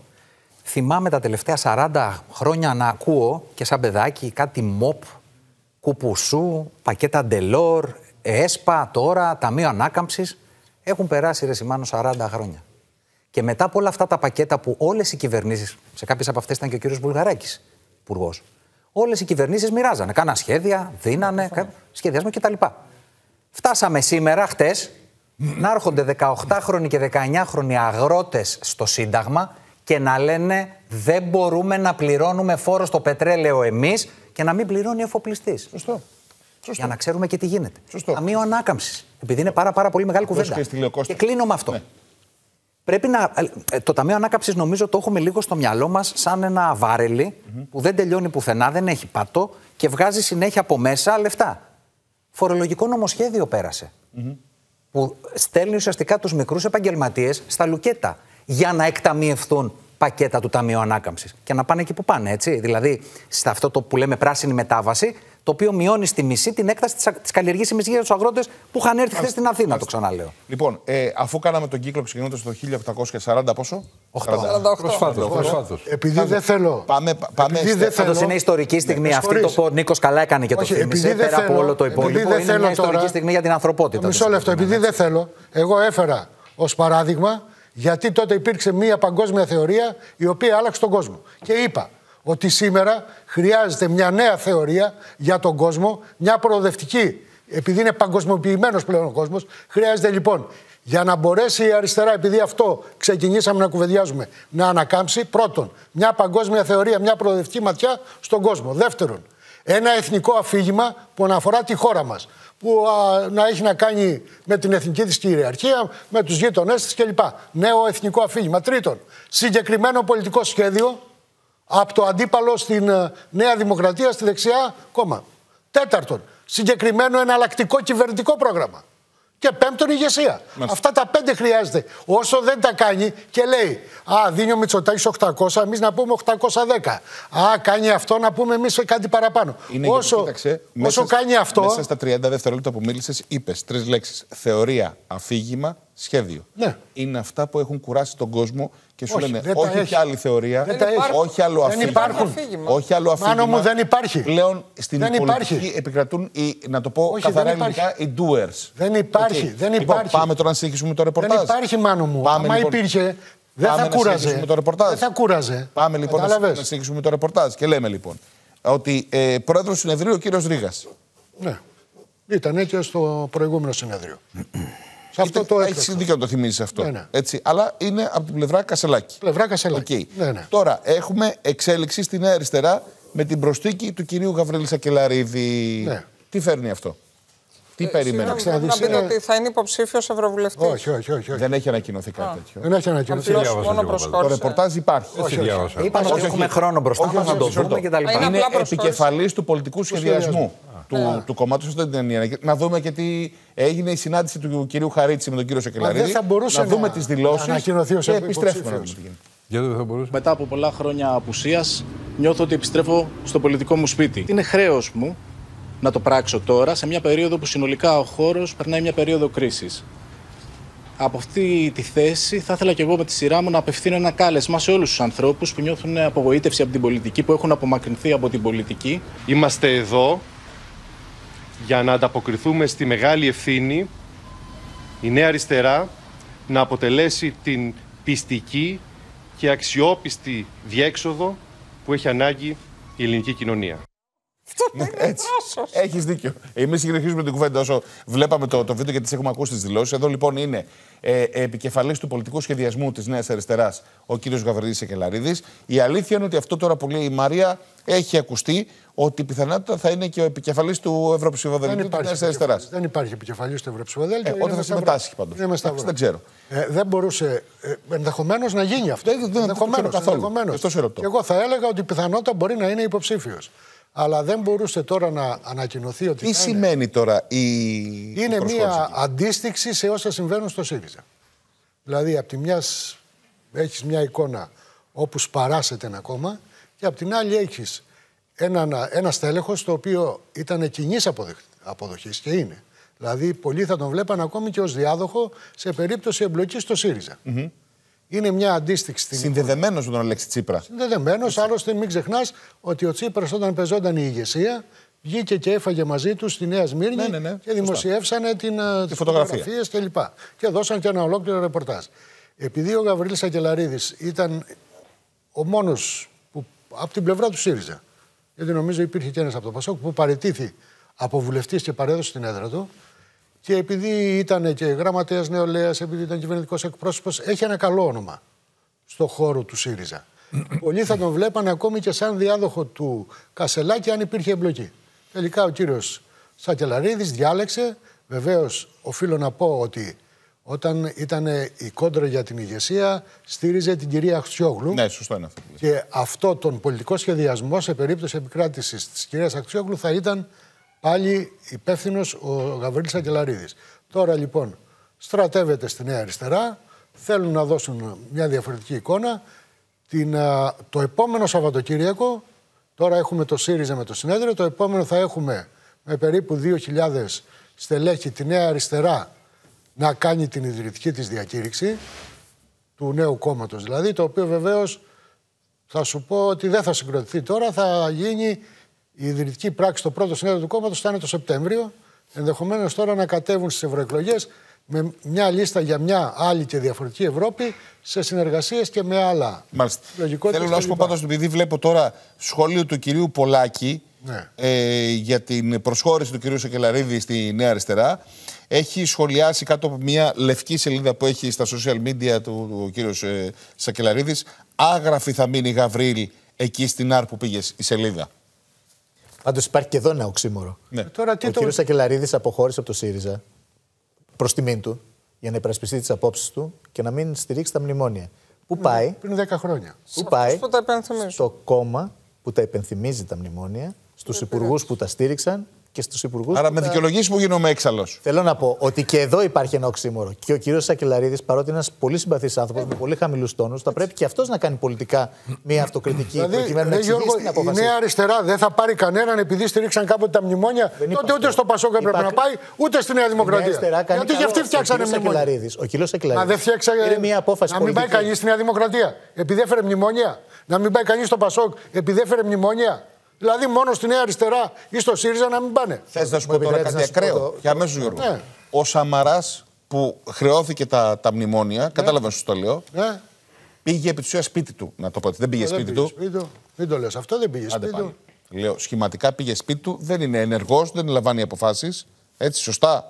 Έτσι. Χωρίς. Εδώ οι άνθρωποι οι οποίοι υπέγραψαν Χωρίς. η μνημόνια έχουν εμφανιστεί Ναι. ως κάτι νέο στην πολιτική σκηνή της χώρας. Ο Κυριάκος Μητσοτάκης ήταν υπουργός των μνημονίων που υπέγραψε επικεφαλής. με τα Εγώ δεν- χέρια εγώ του. δεν κάνω κριτική στα Υπέγραψε με τα μνημόνια. χέρια του τα Κάνετε- μνημόνια. κάνετε λάθος Ήταν εγώ. μισό Εγώ δεν λεπτό. κάνω κριτική. Ο Εγώ έκανα μια Μητσοτάκης- αντίστοιξη κάνω αυτό που λες. Ο κριτική Μητσοτάκης στον δεν κύριο ήταν μόνο που Σακελαρίδη. υπέγραψε το μνημόνιο, ήταν και αυτός που ήταν ο πιο σκληρός στην εφαρμογή όταν είπανε θα διώξουμε 5.000 κόσμο. Θυμάσαι τότε που Ναι, ναι, ήταν ναι. στο διοικητή της μεταρρύθμισης. Ναι, τώρα βέβαια, ήταν ο πάντως- πιο σκληρός ο Πάντως αυτό Παπαδόπουλος. για να λέμε, για να λέμε Δηλαδή την τώρα να αλήθεια, πούμε ο επειδή Μητσοτάκης, θυμάμαι αυτή την εποχή, ο Μητσοτάκης που πήρε Επειδή θυμάμαι αυτή την 41% εποχή. να μην πάει κανείς στο Μητσοτάκη; την απόφαση για τους 2.000 εργαζόμενους την είχε πάρει ο, α, το στέλεχος της Δημοκρατικής Αριστεράς, ο Αντώνης ο Μανιτάκης.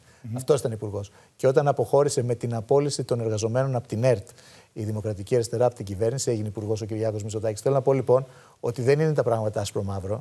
Όχι, Η δεν απόφαση- ισχύει αυτό που λες. Ισχύει γιατί το ξέρω δεν πολύ ισχύει. καλά. Αυτό λέω, Ξέρω δεν είναι πολύ άσπρο. καλά. Όχι, όχι, όχι. Εφάρμοσε Η- μία η Δημάρ- απόφαση. η εφάρμοσε Δημάρ μία απόφαση, έφυγε μία με αφορμή δέσμευση. την ΕΡΤ. Ναι. Ο Μητσοτάκης- Το οποίος όμως είχε πάρει Δημάρ. Ο Έλεγες Μητσοτάκης για το δεν οξύμορο. αναφέρθηκα εγώ Εντάξει. στην ΕΡΤ, Έλεγες για το αναφέρθηκα οξύμορο. στις άλλες απολύσεις. Έλεγες Γιώργο. Εγώ, αυτό το εγώ οξύμορο. λοιπόν. εγώ, Αναφέρθηκα στις λοιπόν άλλες απολύσεις. και η ΕΡΤ μέρος αυτών των απολύσεων Ναι, του ναι. συνολικού ήταν. Το οξύμορο λοιπόν είναι το εξής: Ότι ο κύριο Σακελαρίδη, ναι, είναι ένα πρόσωπο το οποίο έχει μια επικοινωνιακή εμβέλεια. Από την άλλη, θέλω να πω ότι δεν είναι συνεπής με τις αρχές του. Έφυγε, αποχώρησε από το ΣΥΡΙΖΑ και από την πολιτική εξαιτίας της κεντρικής πολιτικής απόφασης της στήριξης των μνημονίων και αυτή τη στιγμή συντάσσεται με τους υπουργούς όλης αυτής της περίοδου που κλήθηκαν και υπερασπίστηκαν και εφάρμοσαν σκληρά μνημόνια. Εκχώρηση τη δημόσια κυριαρχία, θυμίζω, για 99 χρόνια, κλεισίματος των τρα- τραπεζών, αύξηση των φόρων, ε, των ε, α, α, χρόνων ε, συνταξιοδότησης κλπ. κλπ, κλπ. Δεν μου Να πω ότι απαντάς είναι Γιώργο όμως. Δύσκολη, Αφήνω. δύσκολη η Στη πορεία. Νέα η πολιτική. Δημοκρατία γιατί, Λοιπόν, να- σε γιατί να πάνε τότε; Αφού έκανε και αυτή μνημόνιο. Στο Πασόκ γιατί να πάνε; Αφού έκανε μνημόνιο. Όσοι κάνανε μνημόνιο λοιπόν τελειώνουν να εξοβελιστούν. Το κουκουέ να το πει. Και θα, Άλλο- θα είναι άλλο προς- λέω εγώ. Αλλά το, τι άλλο λες; Λέω δηλαδή για τον γιατί κύριο να πάει; Σακελαρίδη ότι- Εγώ ξέρω ότι ό,τι. Γιατί γύρισε η Μπακογιάννη στο. Άλλο στη Νέα πράγμα σου Δημοκρατία? είπε. Νίκο, ε, άλλο πράγμα Τι σου άλλο? άλλο πράγμα σου είπε. Σου είπε ότι Εντάξει, αλλά έφυγε η το μνημόνιο. συνέπεια- Η συνέπεια συγχωρείτε. κρίνεται από τι πολιτικέ. Σωστό είναι αυτό. Λοιπόν, αυτοί τέτοιε πολιτικέ δεν υπάρχουν σήμερα. Τέτοιο διακύβευμα δεν υπάρχει. Άρα μπορεί ο Σακελαρίδη να κάνει ό,τι θέλει. Δεν είναι εκεί το ζητούμενο. Μάλιστα. Δεν Ε, είναι επίσης, ανακόλουθο ναι, στι επίσης να πω αρχέ το του. εξής. Δεν έρχεται να υπηρετήσει μνημόνια. Ναι. Ε, να πω το εξή. Έχω την αίσθηση, χωρί να τώρα θέλω να υποτιμήσω κάποιον. Ε, υπάρχει ένα θέμα σοβαρότητα στο ΣΥΡΙΖΑ. Τώρα δεν θέλω να είμαι απαξιωτικός, αλλά αυτά όλα που παρακολουθεί ο ελληνικός λαός ουσιαστικά εμβρόντιτος. Αυτά που συμβαίνουν ανάμεσα στα στελέχη, τις κατηγορίες, ένθε και κήθεν, τα διάφορα επιχειρήματα που αναπτύσσονται κτλ. κτλ. Δίνουν την αίσθηση στον κόσμο ότι εδώ έχουμε να κάνουμε ένα πράγμα το οποίο δεν είναι και πάρα πολύ σοβαρό. Είναι κάτι το οποίο είναι. Δηλαδή, Αλήθεια είναι αυτό, Γιώργο ναι, μου. δεν είναι πάρα πολύ σοβαρό. Γιώργο μου, είναι αλήθεια Από αυτό. την άλλη μεριά τώρα, η Νέα Αριστερά, που έχει όλα αυτά τα οξύμορα που είπε προηγουμένως ο Γιώργος και ο Νίκος, δίνει μια πιο συντεταγμένη εικόνα. Mm-hmm. Για να είμαστε ειλικρινείς. Mm-hmm. Μπορεί να διαφωνείς και να λες όλα αυτά τα οποία Αλήθεια, ναι, ναι. Έτσι. Ναι, διαφωνείς πολιτικά, το καταλαβαίνω. Mm-hmm. Είναι άλλο διαφωνώ πολιτικά και άλλο σε θεωρώ τώρα ρεζίλ το χιλιόν. Και νομίζω ναι, ότι από αυτή την. Μαρία, Νίκο, σε παρακαλώ, δεν έχουν μιλήσει οι υπόλοιποι.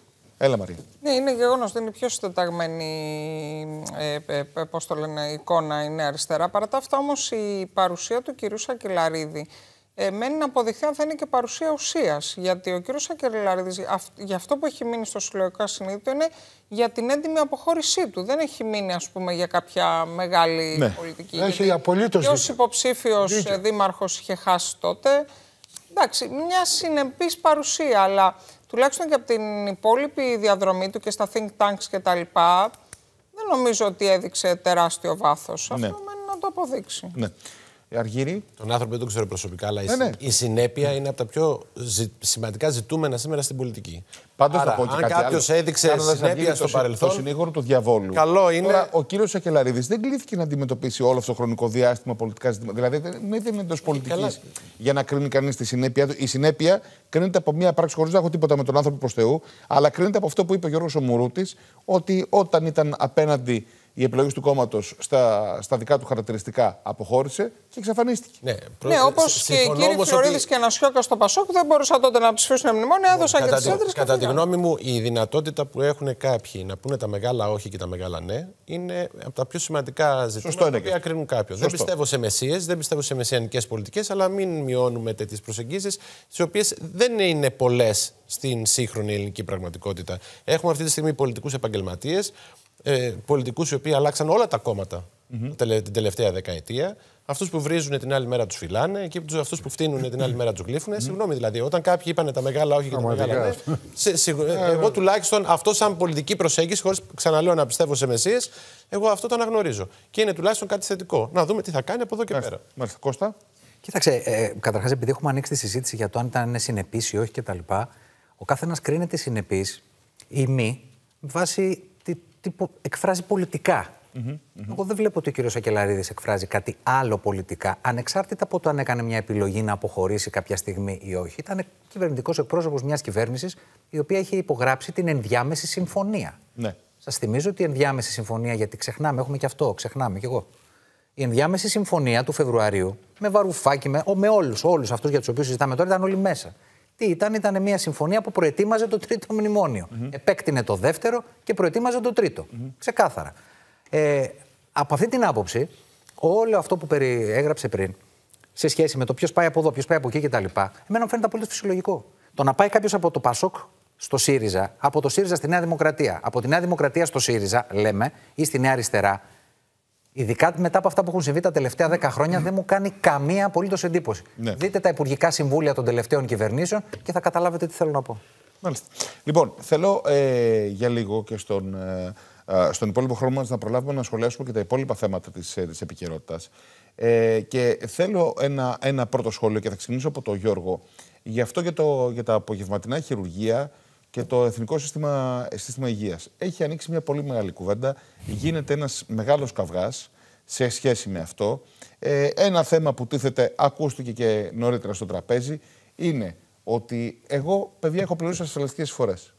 Και καλούμε σήμερα να ξαναπληρώσω ε, για να, πάω, για, ε, ε να κάνω ένα απογευματινό ε, χειρουργείο, περιμένοντας τη λίστα ίσως και για ένα χρόνο. Και μάλιστα μου έκανε εντύπωση ότι ως διαρροή του Υπουργείου Υγείας υπήρχε και ένας τιμοκατάλογο που έδειχνε το πόσο φθηνότερο είναι το απογευματινό χειρουργείο σε σχέση με τον ιδιωτικό τομέα. Ναι, ναι, ναι. Λέω αλήθεια γίνεται αυτό. εγώ σου είπα την άποψή μου ότι δυστυχώς στην Ελλάδα, αν δεν έχεις γνωστό, εάν δεν έχεις χρήματα, δεν έχεις τον ήλιο μοίρασε στο ναι. σύστημα υγείας. Δυστυχώς. Αυτό, αυτό είναι. Ε, Όντας συνεπή, έτσι. Όντα συνεπή στις φορές. Μπορεί να δουλεύεις. Θες δεν θες.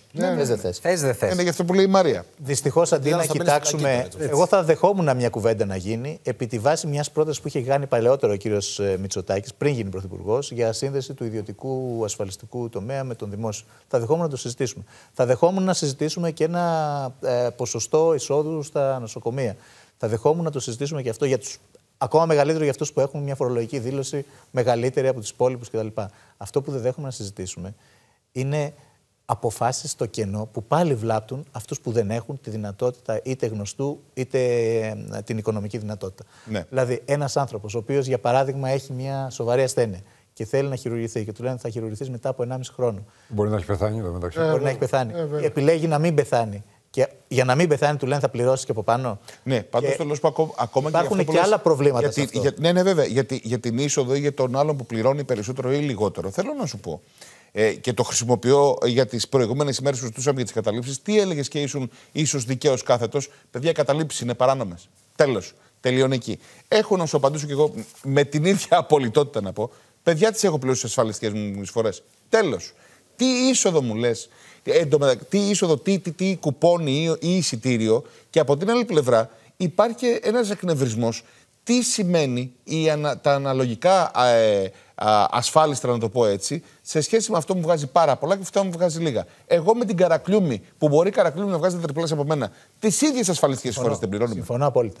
Λέω όμως, αν το σύστημα υγείας είναι Αναλογικά σε τέτοια πάντα. κατάσταση που δεν μπορεί να χρηματοδοτηθεί, ασφαλώς να μην χαθεί κανένα δικαίωμα των ασφαλισμένων, κατοχυρωμένο, αλλά να συζητήσουμε για το μέλλον οποιαδήποτε προοπτική και λύση. Αυτό λέω. Δεν είπα να τα αλλάξουμε. Ναι, ναι, κατάλαβα τι λες. Το ότι ξυπνάμε μια μέρα και λέμε ότι όσοι δεν έχουν τη δυνατότητα, γιατί για μένα αυτό είναι, θα μπουν σε μια διαδικασία να πληρώνουν, εμένα με ξεπερνά. Αυτό που πάντως είναι αναγκαίο και πιστεύω ότι μπορεί να γίνει και πρέπει να γίνει, είναι να λειτουργούν ακόμα περισσότερο τα χειρουργεία με απογευματινά χειρουργία, με γιατρούς έκτακτους, με δυνατότητες και παροχές ιδιαίτερες. Μα δεν γίνεται ούτε με γιατρούς έκτακτους, Γιώργο. Δεν γίνεται με γιατρούς έκτακτους. Ναι, λέω, αυτό θα με ικανοποιούσε. Βέβαια, η κυβέρνηση αυτό απαντά για να είμαστε δίκαιοι ότι θα γίνεται όπου αυτό μπορεί να γίνει και αυτό πότε τέθηκε ω ρίσκο, όταν άρχισαν οι παρετήσεις κυρίως στη Βόρεια Ελλάδα γιατρών, οι οποίοι έφυγαν από τη μία εφημερία να πάνε στην άλλη κάνοντας 100 χιλιόμετρα. Να ρωτήσω Είπαν, και κάτι ακόμα. παρετούμαστε τέλος. Να ρωτήσω και κάτι Ναι. ακόμα. Αυτή η κουβέντα είναι σκληρή να την κάνουμε, αλλά πρέπει να την κάνουμε και ως κοινωνία. Τι κατηγορούμε τους γιατρούς, ότι, όχι τι κατηγορούμε τις πολιτείες, ότι δεν πληρώνουν τους γιατρούς. Υποπληρώνονται. σωστό. Ένας γιατρός χειρουργός που παίρνει 1.500 ευρώ, 2.000 ευρώ μπορεί να ζήσει; Όχι. Όχι. Κατακρίνουμε ως κοινωνία το φακελάκι, το κατακρίνουμε. Γνωρίζουμε όμως ότι γίνεται παντού. Και οι ίδιοι οι πολίτες δίνουν ένα δώρο στο γιατρό γιατί ξέρουν τον κόπο του κτλ. κτλ. Το κάνουν. Υπάρχει μια επιχειρηματολογία που λέει ότι το απογευματινό χειρουργείο ουσιαστικά θα αναιρέσει το φακελάκι γιατί θα δίνει το γιατρό τη δυνατότητα να πληρώνεται παραπάνω κτλ. Υπάρχει. Δηλαδή τι λέμε, ότι ο γιατρός ο πρωινός θα, είναι, θα λειτουργεί υπό το φως του, ε, κάτω από το φως, υπό τη σκιά.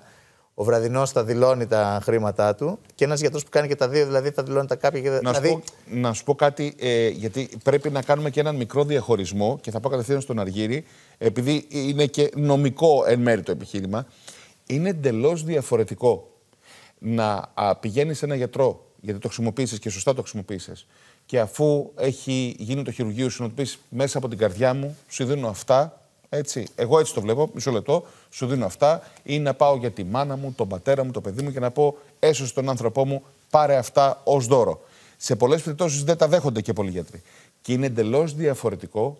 Την παραμονή σου να λέει- έρθουν στο όχι, δωμάτιο. Να σου λέει, όχι, να σου λέει ο γιατρός ότι αν δεν μου δώσεις το φακελάκι, δεν σε χειρουργώ. Είναι και διαφορετικής Συμφωνούμε τάξης το, απόλυτα. το, νομικό, Συμφωνούμε απόλυτα. ε, το νομικό πλαίσιο. Θέλω να πω ότι το λέω στην πολύ ακραία του μορφή ότι αυτή τη στιγμή η κυβέρνηση πηγαίνει στη δεύτερη περίπτωση. Συμφωνούμε απόλυτα. Και στην πρώτη περίπτωση, ακόμα και στην πρώτη, ο Νικήτας ο Κακλαμάνης ε, έχει μεγάλη προσφορά στην ε, πολιτική ζωή. Είχε προτείνει κάποτε την νομιμοποίηση του α, δώρου στους γιατρούς. Ναι. Δηλαδή να φορολογεί το γιατρός για την αμοιβή που παίρνει από έναν ασθενή που θέλει να τον επιβραβεύσει. Μάλιστα, μάλιστα. Ε, τότε τον είχαν επικρίνει, τον είχαν κατηγορήσει, τον είχαν Ναι, καταγγείλει. αλλά αυτό απέχει ότι το νομιμοποιώ το φακελάκι έτσι όπως γίνεται σήμερα. Αφού δεν μπορώ να το Προφανώς. αντιμετωπίσω. ίσως αυτό που το πρότεινε νομιμοποιώ. τότε ο Νικήτας, ίσως αυτό που πρότεινε τότε ο Νικήτας να ήταν η λύση για το πρόβλημα του σήμερα. Μέρος της λύσης. Αλλά η λύση πραγματική είναι μια αναδιάρθρωση και αναβάθμιση του συστήματος υγείας. Πάντω θεσμική αναγνώριση του φακελακίου είναι αυτό. Αυτό ήθελα να πω. Ναι. Τώρα τι, Ξεκάθαρα. τι, τι συζητάμε; Τι συζητάμε; Ε, ε, αυτό εδώ είναι θεσμικ, πραγματικά θεσμοθετούμε. Το φακελάκι. Αυτό. Ναι. Να σου Δηλαδή, πω αυτό κάτι άλλο. τόσο καιρό τι ήταν, ότι θα έπρεπε κάποιος να δώσει φακελάκι να πάει πιο νωρίς, να χειρουργηθεί νωρίτερα αντί να περιμένει δύο χρόνια. Τώρα πάλι του λέμε θα πληρώσεις. Απλά θεωρητικά θα είναι σε, δεν θα είναι σε γκρίζα ζώνη, αλλά θα είναι πάνω στο Νόμιμο, φως. ναι. Που πάλι θα υπάρξει κάτω από το φως, γιατί θα πρέπει να επιλέξεις τον γιατρό που θέλεις, θα πρέπει να πάει τον αναισθησιολόγο που θέλεις, να πας πιο γρήγορα τον άλλον. Δεν θα εξαλειφθεί τίποτα από όλα αυτά όσα- από όσα συζητάμε. Και το οποίο, προσέξτε, η λογική ότι τις υποδομές οποιασδήποτε υποδομές, το δημόσιο δεν πρέπει να τις έχει να κάθονται. Πρέπει να τις χρησιμοποιεί για απόγευμα. Το ίδιο θα σας πω και για τα δικαστήρια. Ναι, ναι. Αν θέλαμε να τελειώσουμε γρήγορα τις υποθέσεις, θα πρέπει να υπήρχε απογευματινή βάρδια. Παλιά υπήρχε, ξέρετε. Παλιά υπήρχε και μετά που την κόψαν, άρχισε Λοιπόν, να μπουκώνει και η δικαιοσύνη. Παλιά υπήρχε. Λοιπόν, αν θέλουμε, οι υποδομές είναι ίδιες. Δικαστικά μέγαρα, νοσοκομεία, χειρουργία, όπου υπάρχουν. Λοιπόν, από εκεί και πέρα, τι θέλουμε ανθρώπινο δυναμικό; Ανθρώπινο δυναμικό, το οποίο όμως έχει λυσιτέλεια. Τα λεφτά τα οποία επενδύει το κράτος, γι' αυτό ξαναλέω, είναι ζήτημα ιεράρχησης, Ναι. είναι ζήτημα πολιτικό, είναι με πιο πρόσημο λειτουργείς. Αντί να πάω να επενδύσω παίρνοντας χίλιους πανεπιστημιακούς αστυνομικούς, θα πάρω 300 αναισθησιολόγους. Ναι. Το, το λέω το 300 γιατί παρα- προσωπικά, θα τους αμύψω παραπάνω από αυτούς που πήραν στην αστυνομία. Ε, ψηλά Πάντως, γράμματα. Αυτή Αργύρη, είναι, αυτή είναι η Αργύρη, πολιτική να που σου πω πρέπει να κάτι, γίνει. να σου πω και κάτι Κώστα άλλο μου, όμως. Αυτή είναι η πολιτική που πρέπει να γίνει. Προφανώς, Άρα Αργύρη. οι υποδομές που τους έχω ούτως ή άλλως και κάθονται. Προφανώς. Πρέπει λοιπόν οι υποδομές αυτές να τις χρησιμοποιήσω και η ιεράρχηση των πόρων που ήδη έχω, γιατί θα ακούσω το παραμύθι ότι δεν υπάρχουν λεφτά, δεν υπάρχουν δημοσιονομικές δυνατότητες και όλα αυτά. Μπλα, μπλα, μπλα, μπλα, μπλα, μπλα. Και ο- βλέπουμε ότι υπάρχουν. Γιατί πήραμε χίλιους πανεπιστημιακούς αστυνομικούς που τελικά δεν τους χρησιμοποιήσαμε ποτέ.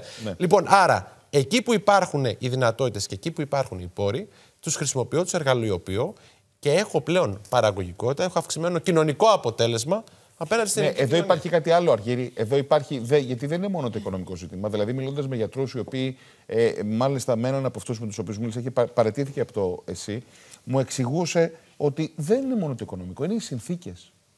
Δηλαδή, ένας Ναι. γιατρός, ο οποίος καλείται να δουλεύει σε αυτά τα ωράρια και να χειρουργεί σε αυτά τα ωράρια που ε, λειτουργεί σήμερα, ε, θα του βγει Ακριβώς. να πάει να κάνει και απογευματινό Ακριβώς χειρουργείο. επειδή υπάρχει και ο αναρωτιέμαι- κίνδυνος για τον ασθενή, δεν θα Αναρωτιέμαι, δουλεύει 18 αναρωτιέμαι και ώρες. χτυπάω ξύλο. Ε, ε, αν ποτέ, ε, όμοι γέννητο, αν ποτέ πάει στο δικαστήριο με υπόθεση ιατρικού λάθου από μια τέτοια κατάσταση, Θα καταδικαστεί. σώζει κάτι το γιατρό Όχι, που λέει ότι φυσικά. είμαι πολύ κουρασμένο και Όχι. δεν άντεχα να δουλεύω σε Όχι, Αλλά και φυσικά, στον γιατί ιδιωτικό έχει- τομέα δεν είναι πολύ καλύτερα. έχει δικαίωμα να στον ιδιωτικό αρνηθεί. τομέα έχει να, να κυνηγάει και του στόχου δεν, έχει σαν τέτοιο, πολιτή. ναι, δεν έχει τέτοιο όγκο όμω. Πάντως να δώσουμε, να δεν δώσουμε είναι και ένα πολύ credit. Να δώσουμε και ένα credit. Ένα λεπτό, ένα λεπτό. Από Μόνο εκεί- ένα έχει credit σχέση να με αυτό, δώσουμε. έχει σχέση με αυτό που λε. Ναι. Είναι σημαντικό. Εγώ με αυτή την υπόθεση πραγματικά προσπαθούσα, διάβαζα και ξαναδιάβαζα, αν διαβάζω σωστά. Και επειδή διάβασα τελικά σωστά, αυτό που καταλαβαίνω είναι ότι υπάρχει κατηγοριοποίηση με βάση τη βαρύτητα της επέμβασης. Αυτό δεν είπε ο κύριος Υπουργός. Αυτό είπε. Προσέξτε τώρα να δείτε. Α φύγουμε λίγο από το τεχνοκρατικό. Ανάλογα με τη βαρύτητα της επέμβασης. 300 ευρώ η μικρή, 500, 900, εξαιρετικά βαριά, 2.000 ευρώ. Αυτή τη στιγμή έχουμε 100.000 χειρουργία σε αναμονή. Εκ των οποίων το 1 τέταρτο είναι εξαιρετικά βαριά. Δηλαδή αυτός που δεν έχει τις 2.000 ευρώ, πότε θα χειρουργηθεί σε αυτό το δημόσιο σύστημα υγείας που συζητάμε; Ποτέ. Για τέτοια αθλειότητα συζητάμε. Και ενώ μιλάμε για τέτοια αθλειότητα. Δηλαδή, ξέρεις τι, εγώ λίγο από όσα έχουν συμβεί τις τελευταίες μέρες, γιατί έκατσα και παρακολούθησα όλη τη συζήτηση στη Βουλή για το τελευταίο νομοσχέδιο που ψηφίστηκε και πανηγύριζε μετά η πρόεδρος της Δημοκρατίας σε κάτι μαγαζιά με τους υπουργούς. Άκουσα περίπου 1.500.000 φορές τη λέξη ισοτιμία και ίσα δικαιώματα. Εξήγησέ μου. Ποιο ίσο δικαίωμα έχει αυτός που δεν έχει 2.000 ευρώ, πρέπει να χειρουργηθεί γιατί είναι εξαιρετικά βαριά περίπτωση με αυτόν που έχει 2.000 ευρώ. Μάλιστα. Και έρχεται και θεσμοθετεί αυτό η κυβέρνηση. Να πω- Και δεν σου λέει μόνο αυτό ο Άδωνης, ο κύριος Γεωργιάδης, συγγνώμη. Δεν σου λέει μόνο αυτό. Όταν του βάζει ζήτημα προσλήψεων, τι λέει, για να προσλάβω γιατρούς θα πρέπει να αυξήσω τον ένφια. Άλλη αθλειότητα. Πάνω σε ένα ζήτημα που αφορά τη δημόσια υγεία, δημιουργεί συνθήκες κοινωνικού αυτοματισμού και σου λέει, αν θες να έχεις γιατρούς όσους πρέπει, όσους είναι αναγκαίο να έχεις, όχι κάτι παραπάνω, όσους πρέπει, Ναι. πρέπει να πληρώσεις ένφια. Μαρία. Ναι, εδώ νομίζω ότι έχουμε όλοι κοντή μνήμη. Πριν ε, δυόμιση χρόνια η κυβέρνηση πανηγύριζε ότι, έστησε, ότι ανέστησε το δημόσιο σύστημα υγείας, ότι αντιμετώπισε τον COVID, ότι διεύρυνε κατά πολύ τις, ε, πώς τη λένε, τις ε, ΜΕΘ. κλίνες της ΜΕΘ και ότι όλα καλά, όλα ανθυρά και τι ωραία που είναι το σύστημα υγείας. Και τώρα ερχόμαστε να εκθέσουν μια κατάσταση, την οποία όλοι γνωρίζουμε όσοι περνάμε από τα νοσοκομεία, η οποία είναι πολύ χειρότερη του παρελθόντος. Το κρίσιμο λοιπόν είναι γιατί πανηγύριζαμε τότε και δεν είχαμε τι άλλο να κάνουμε προφανώς. Δηλαδή, πραγματικά είναι να απορεί κανείς, αλλά το κρίσιμο, ένα άλλο κρίσιμο ζήτημα είναι να αξιολογήσουμε τι έχει γίνει μέχρι τώρα. Γιατί αν μετά από πέντε χρόνια φτάσαμε να είμαστε στο σημείο μηδέν σε αυτό που ήμασταν πριν από πολλά χρόνια, τότε τι έκανε η κυβέρνηση αυτά τα πέντε χρόνια στον τομέα της υγείας; Και επίσης, τα νοσοκομεία έχουν όλα διοικητές. Μάθαμε ποτέ αν αυτοί οι διοικητές αξιολογήθηκαν. Θυμάμαι πριν λίγο καιρό που ήταν ο κ. Σοχοίδης υπουργός Υγείας, κάποιοι που φεύγανε. Που με κάτι περιστατικά, ας πούμε. Αυτή τη δεύτερη τετραετία της κυβέρνησης έχει τεθεί ε, ως εμβληματικός στόχος η υγεία.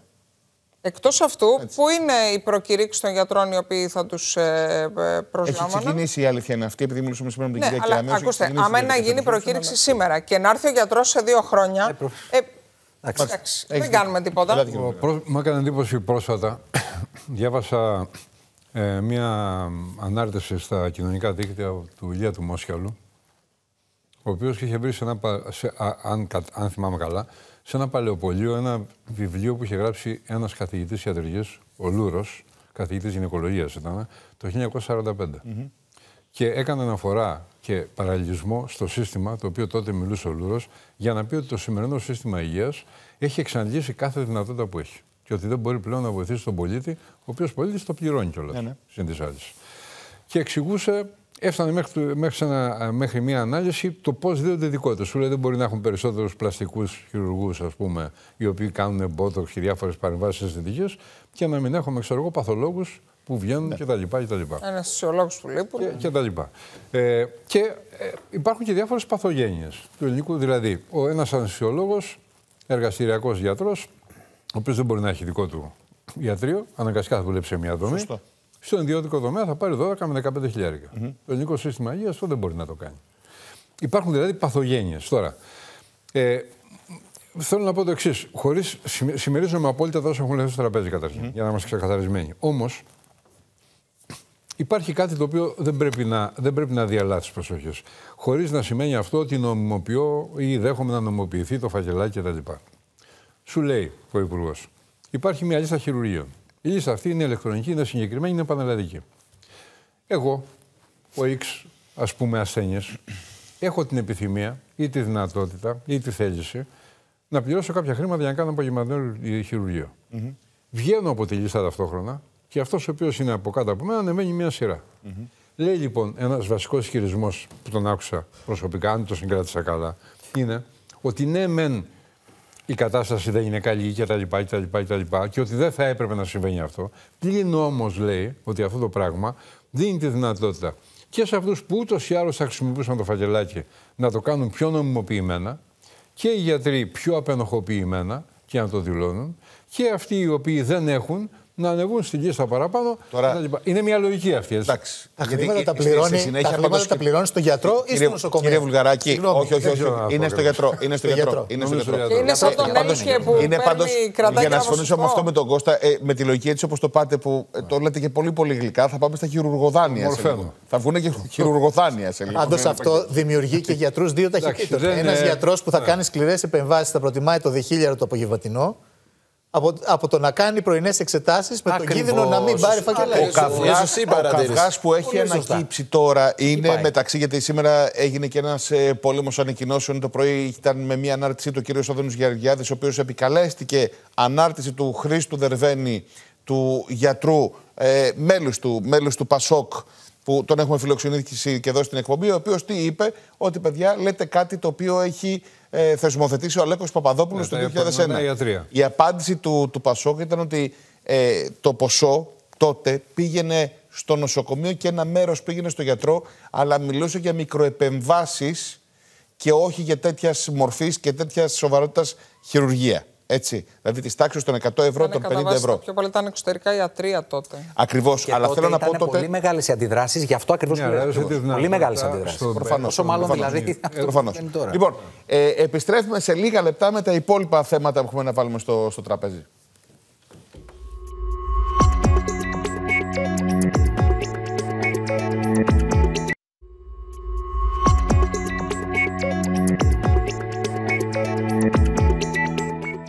Λοιπόν, πέραν αυτών που συζητάμε, έχουμε και το, και το θέμα της κόντρας που είχαμε σήμερα στην, ε, στη Βουλή. Βέβαια, ε, έπεσαν όλα. Είναι η αλλαγή για τους ποινικούς κώδικες και όλο το υπόλοιπο. Ε, αλλά κυρίως η κόντρα συνεχίστηκε, συνεχίστηκε σήμερα για τα τέμπη. Πάμε να δούμε τι έγινε στο Κοινοβούλιο και επιστρέφουμε.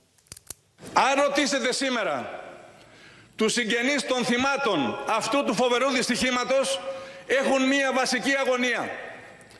Πότε θα ξεκινήσει η δίκη; Η κυβέρνηση λοιπόν εισηγείται να μπορεί να οδηγηθεί η υπόθεση κατευθείαν σε δίκη. Σε ένα έγκλημα για το οποίο υπάρχουν ξεκάθαρες πολιτικές ευθύνες. Είναι χιδαίο το ότι χθες αποφασίσατε να κλείσετε τον κατάλογο, τον κατάλογο των μαρτύρων στην Εξεταστική Επιτροπή. Μια Εξεταστική Επιτροπή παροδία, γι' αυτό αποχώρησαν και χθες οι βουλευτές μας.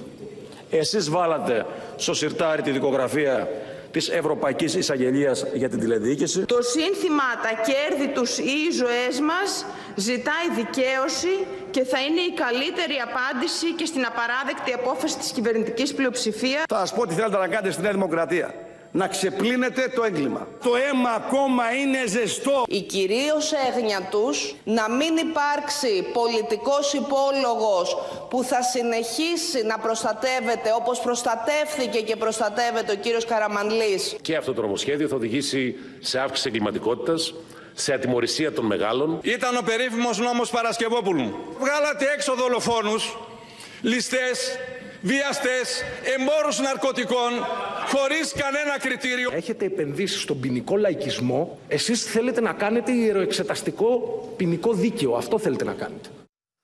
Μάλιστα. Αυτά έγιναν σήμερα στη Βουλή και ε, τώρα η κόντρα για, την, ε, ε, για τα τέμπη συνεχίζεται και είναι κόντρα ουσίας, εγώ θα έλεγα, αργύρι. Ε, δηλαδή θέλω να πω ότι από τη μία πλευρά περιμένουν οι συγκίνησεις να δουν πότε θα ξεκινήσει αυτή η δίκη ε, εδώ γίνεται ένα κυνήγι, ένας καυγάς ε, που φαίνεται να μένει, ε, να αιωρείται για τις πολιτικές ευθύνες που αναζητούνται, δεν θα υπάρξουν και ποτέ, λέω εγώ, ε, και χωρίς να ξέρουμε ποιος είναι ο πραγματικός υπεύθυνος για όλο αυτό που έχει συμβεί. Καλά, το πότε θα ξεκινήσει η δίκη έχει να κάνει το πότε θα τελειώσει η ανάκριση και πότε θα προσωποποιήσει τις ευθύνες. Αυτό είναι σε εξέλιξη. Δεν θεωρώ ότι έχει αργήσει. Ε, κλείνουμε ένα χρόνο. Σε Νομίζω έχει, είναι, έχει ολοκληρωθεί Είναι ένα τραγικό γεγονός. Προχωράει ήδη. Ε, σήμερα άσκηση. Βρέθηκε η αίθουσα, άκουσα από τον κύριο Φερολίνη την δύο προσώπα. Κατά, ε, νομίζω 31 πρόσωπα. Εδώ άλλα δύο πρόσωπα ναι, ναι. σήμερα ασκήθηκε ε; στην ουσία ναι, ναι. δίωξη. Έτσι. Ε, 31 είναι. Προχωράει. Δεν είναι, κοιτάξτε, αν δείτε αντίστοιχες δίκες και αντίστοιχα μεγάλα ατυχήματα και στο εξωτερικό, δεν γίνονται σε τρεις μήνες. Mm-hmm.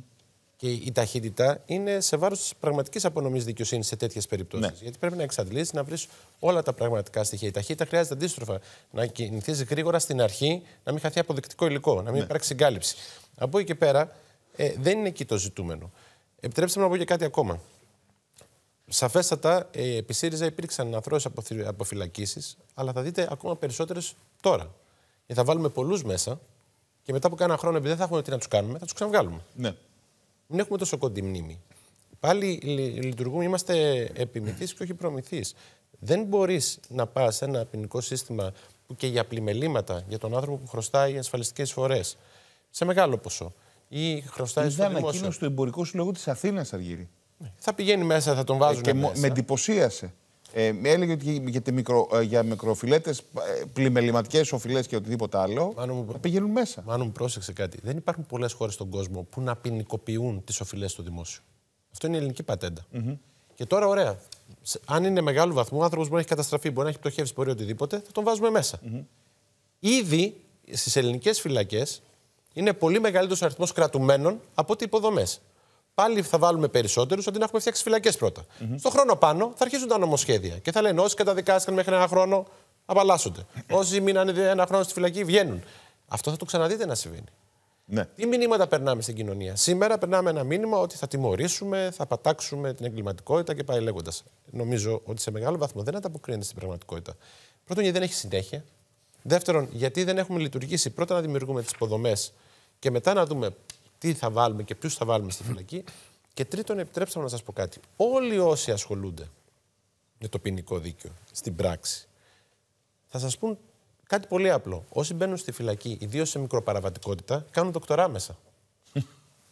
θα βγουν έξω και θα είναι μεγαλύτερης εγκληματικής μορφής δράστε. Ναι. Δεν είναι τυχαίο τα συγκοινωνούντα δοχεία που είδατε αναρχικούς στο παρελθόν με ε, άτομα του κοινού ποινικού δικαίου. Ναι. Όταν αυτοί βρεθήκανε μαζί, ομογάλακτοι και από ένα σημείο και μετά συνεργαστήκαν, μεγαλύτερη ζημιά κάνουν στην κοινωνία. Δηλαδή, δηλαδή θα τους βάλεις, δεν θα τους βάλεις στους ποινικούς Όχι, θα τους θα τους βάλεις, αλλά ακριβώς για αυτές τις περιπτώσεις πρέπει να έχεις συγκεκριμένες πτέρυγες και συγκεκριμένες φυλακές. Ναι. Γιατί έχεις ανθρώπους οι οποίοι μπήκαν μέσα όχι για κοινά, κοινού ποινικού δικαίου εγκλήματα ή για αυξημένης επικινδυνότητας εγκλήματα, συγχρονίστηκαν και άρχισαν στην ουσία να επικοινωνούν ή να λειτουργούν με άλλο πλαίσιο. Ναι. Πάντως, η, Ελλάδα έχει ε, καταδικαστεί, να μην το πούμε εγώ. η Ελλάδα έχει καταδικαστεί πολλάκις για τον τρόπο που ε, μεταχειρίζεται τους κρατούμενους. Και ένας από τους λόγους που, μετα- ε, που καταδικάζεται είναι γιατί αυτή τη στιγμή έχουμε πενταπλάσιο αριθμό κρατουμένων από ό,τι έχουμε υποδομές. Λοιπόν, ε, το ότι υπάρχουν καθυστερήσεις στη δικαιοσύνη είναι γεγονός και μάλιστα σε πολλές των περιπτώσεων φτάνουν και στα όρια της αρνησιδικίας οι καθυστερήσεις.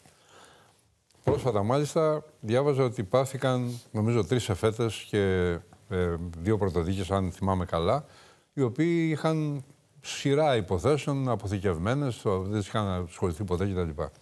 Επομένως, ότι κάτι πρέπει να γίνει για να επιταχυνθεί η διαδικασία απονομής της δικαιοσύνης είναι δεδομένο. Δυστυχώς η διαμεσολάβηση, γιατί ψηφίστηκε ένας νόμος για διαμεσολάβηση, εγώ ίδιος είμαι διαμεσολαβητή, δεν περπάτησε στην Ελλάδα, ενώ στο εξωτερικό περπατάει, διότι οι αμοιβέ των δικηγόρων είναι πολύ χαμηλές. Ναι. Επομένως, ο άλλος δεν του κοστίζει τίποτα να πάρει το αργιά του, μιλάει 4 ώρες στο τηλέφωνο και στο ώρα του πει Αργύρε, ευχαριστώ, χαίρετε. Ενώ αν πας στο εξωτερικό και το κάνεις αυτό, θα πάρει τον Χρονοχρέος. δικηγόρο στο κουμπί. Ναι, ναι, ναι. Όση ώρα θες συναφλιάρε, Ναι. θα τον πληρώνεις αντίστοιχα δολάρια. Αυτό στην Ελλάδα δεν συμβαίνει. Επομένως, η διαμεσολάβηση, παρότι έγινε υποχρεωτική σε μία σειρά από υποθέσεις, έχει καταντήσει να είναι διαδικαστική. Δηλαδή, υπογράφουν δύο πρωτόκολλα, πάνε με τα πρωτόκολλα αυτά ως προπόθεση στα δικαστήρια και κρατάει η δίκη μετά όσο πάει. Τώρα, ε, υπάρχει μια σύνδεση της διαδικασίας των δικαστικών συμβουλίων. Δηλαδή, ανάμεσα σε κάθε διαδικασία υπάρχει ένα βούλευμα. Σε κάποιες υποθέσεις αυτό αφαιρέθηκε.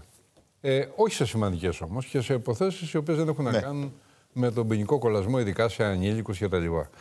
Ε, υπάρχει από την κοινωνία ένα αίτημα. Σου λέει, κύριε, αυτό τον πιάνεις. Τι τον κάνεις, γιατί τον αφήνεις αναλεύθερο; Το βλέπουμε αυτό, ας πούμε, σε διάφορες παραβάσεις στο, σε- στα, στα αθλητα- στα αθλητικά. Σου λέει, προ- τον προσάγεις. Τον πας στο δικαστήριο, πάει στο αγγελέα, δύο χρόνια, ας πούμε, ελεύθερος. Δηλαδή, θέλω να πω, και εμείς σαν κοινωνία πρέπει κάποια στιγμή να, να δούμε τι θέλουμε.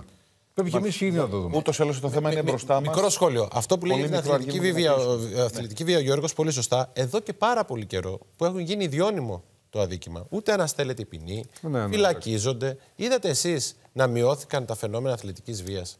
Δεν είναι καινούργια. Εδώ και δύο χρόνια, αν θυμάμαι καλά, αυτή τη στιγμή ούτε αναστολή ποινής υπάρχει, ούτε αναστολή, δι- δι- αναστολή στην έφεση. Φυλακίζεται με το καλημέρα αυτός ο οποίος θα έχει τελέσει το ιδιώνυμο. Και όμως η αθλητική βία δεν αυλήθηκε σαν φαινόμενο στην ελληνική κοινωνία. Υπάρχει και θα συνεχίσει να υπάρχει. Είναι άλλο πράγμα το πώς θα λειτουργήσουμε αποτρεπτικά και άλλο να λειτουργούμε τιμωρητικά και να νομίζουμε ότι κάναμε, να έχουμε Απλώς ήδη και- ίση και τη συνείδησή μας. Η, η ατιμορρησία δίνει και άλλο μήνυμα στην κοινωνία όμως. Άλλο ατιμορρησία και άλλο να νομίζουμε ότι επειδή θα Πρέπει τους να βάλουμε, κάνουμε όλους- κάτι. τους βάλουμε όλους μέσα θα λύσουμε το πρόβλημα. Να σας ευχαριστήσω πολύ που ήσασταν εδώ απόψε, όπως ευχαριστούμε και εσάς, κυρίες και κύριοι. Ανανεώνουμε το ραντεβού μας για αύριο το βράδυ Το στις 10 Παναθηναϊκό δεν ακριβώς. είπες, Νίκο, Να είστε κύριε, στο όλοι σας Παναθηναϊκός. καλά. Καλό βράδυ. Παναθηναϊκός. Γεια σας. Γεια.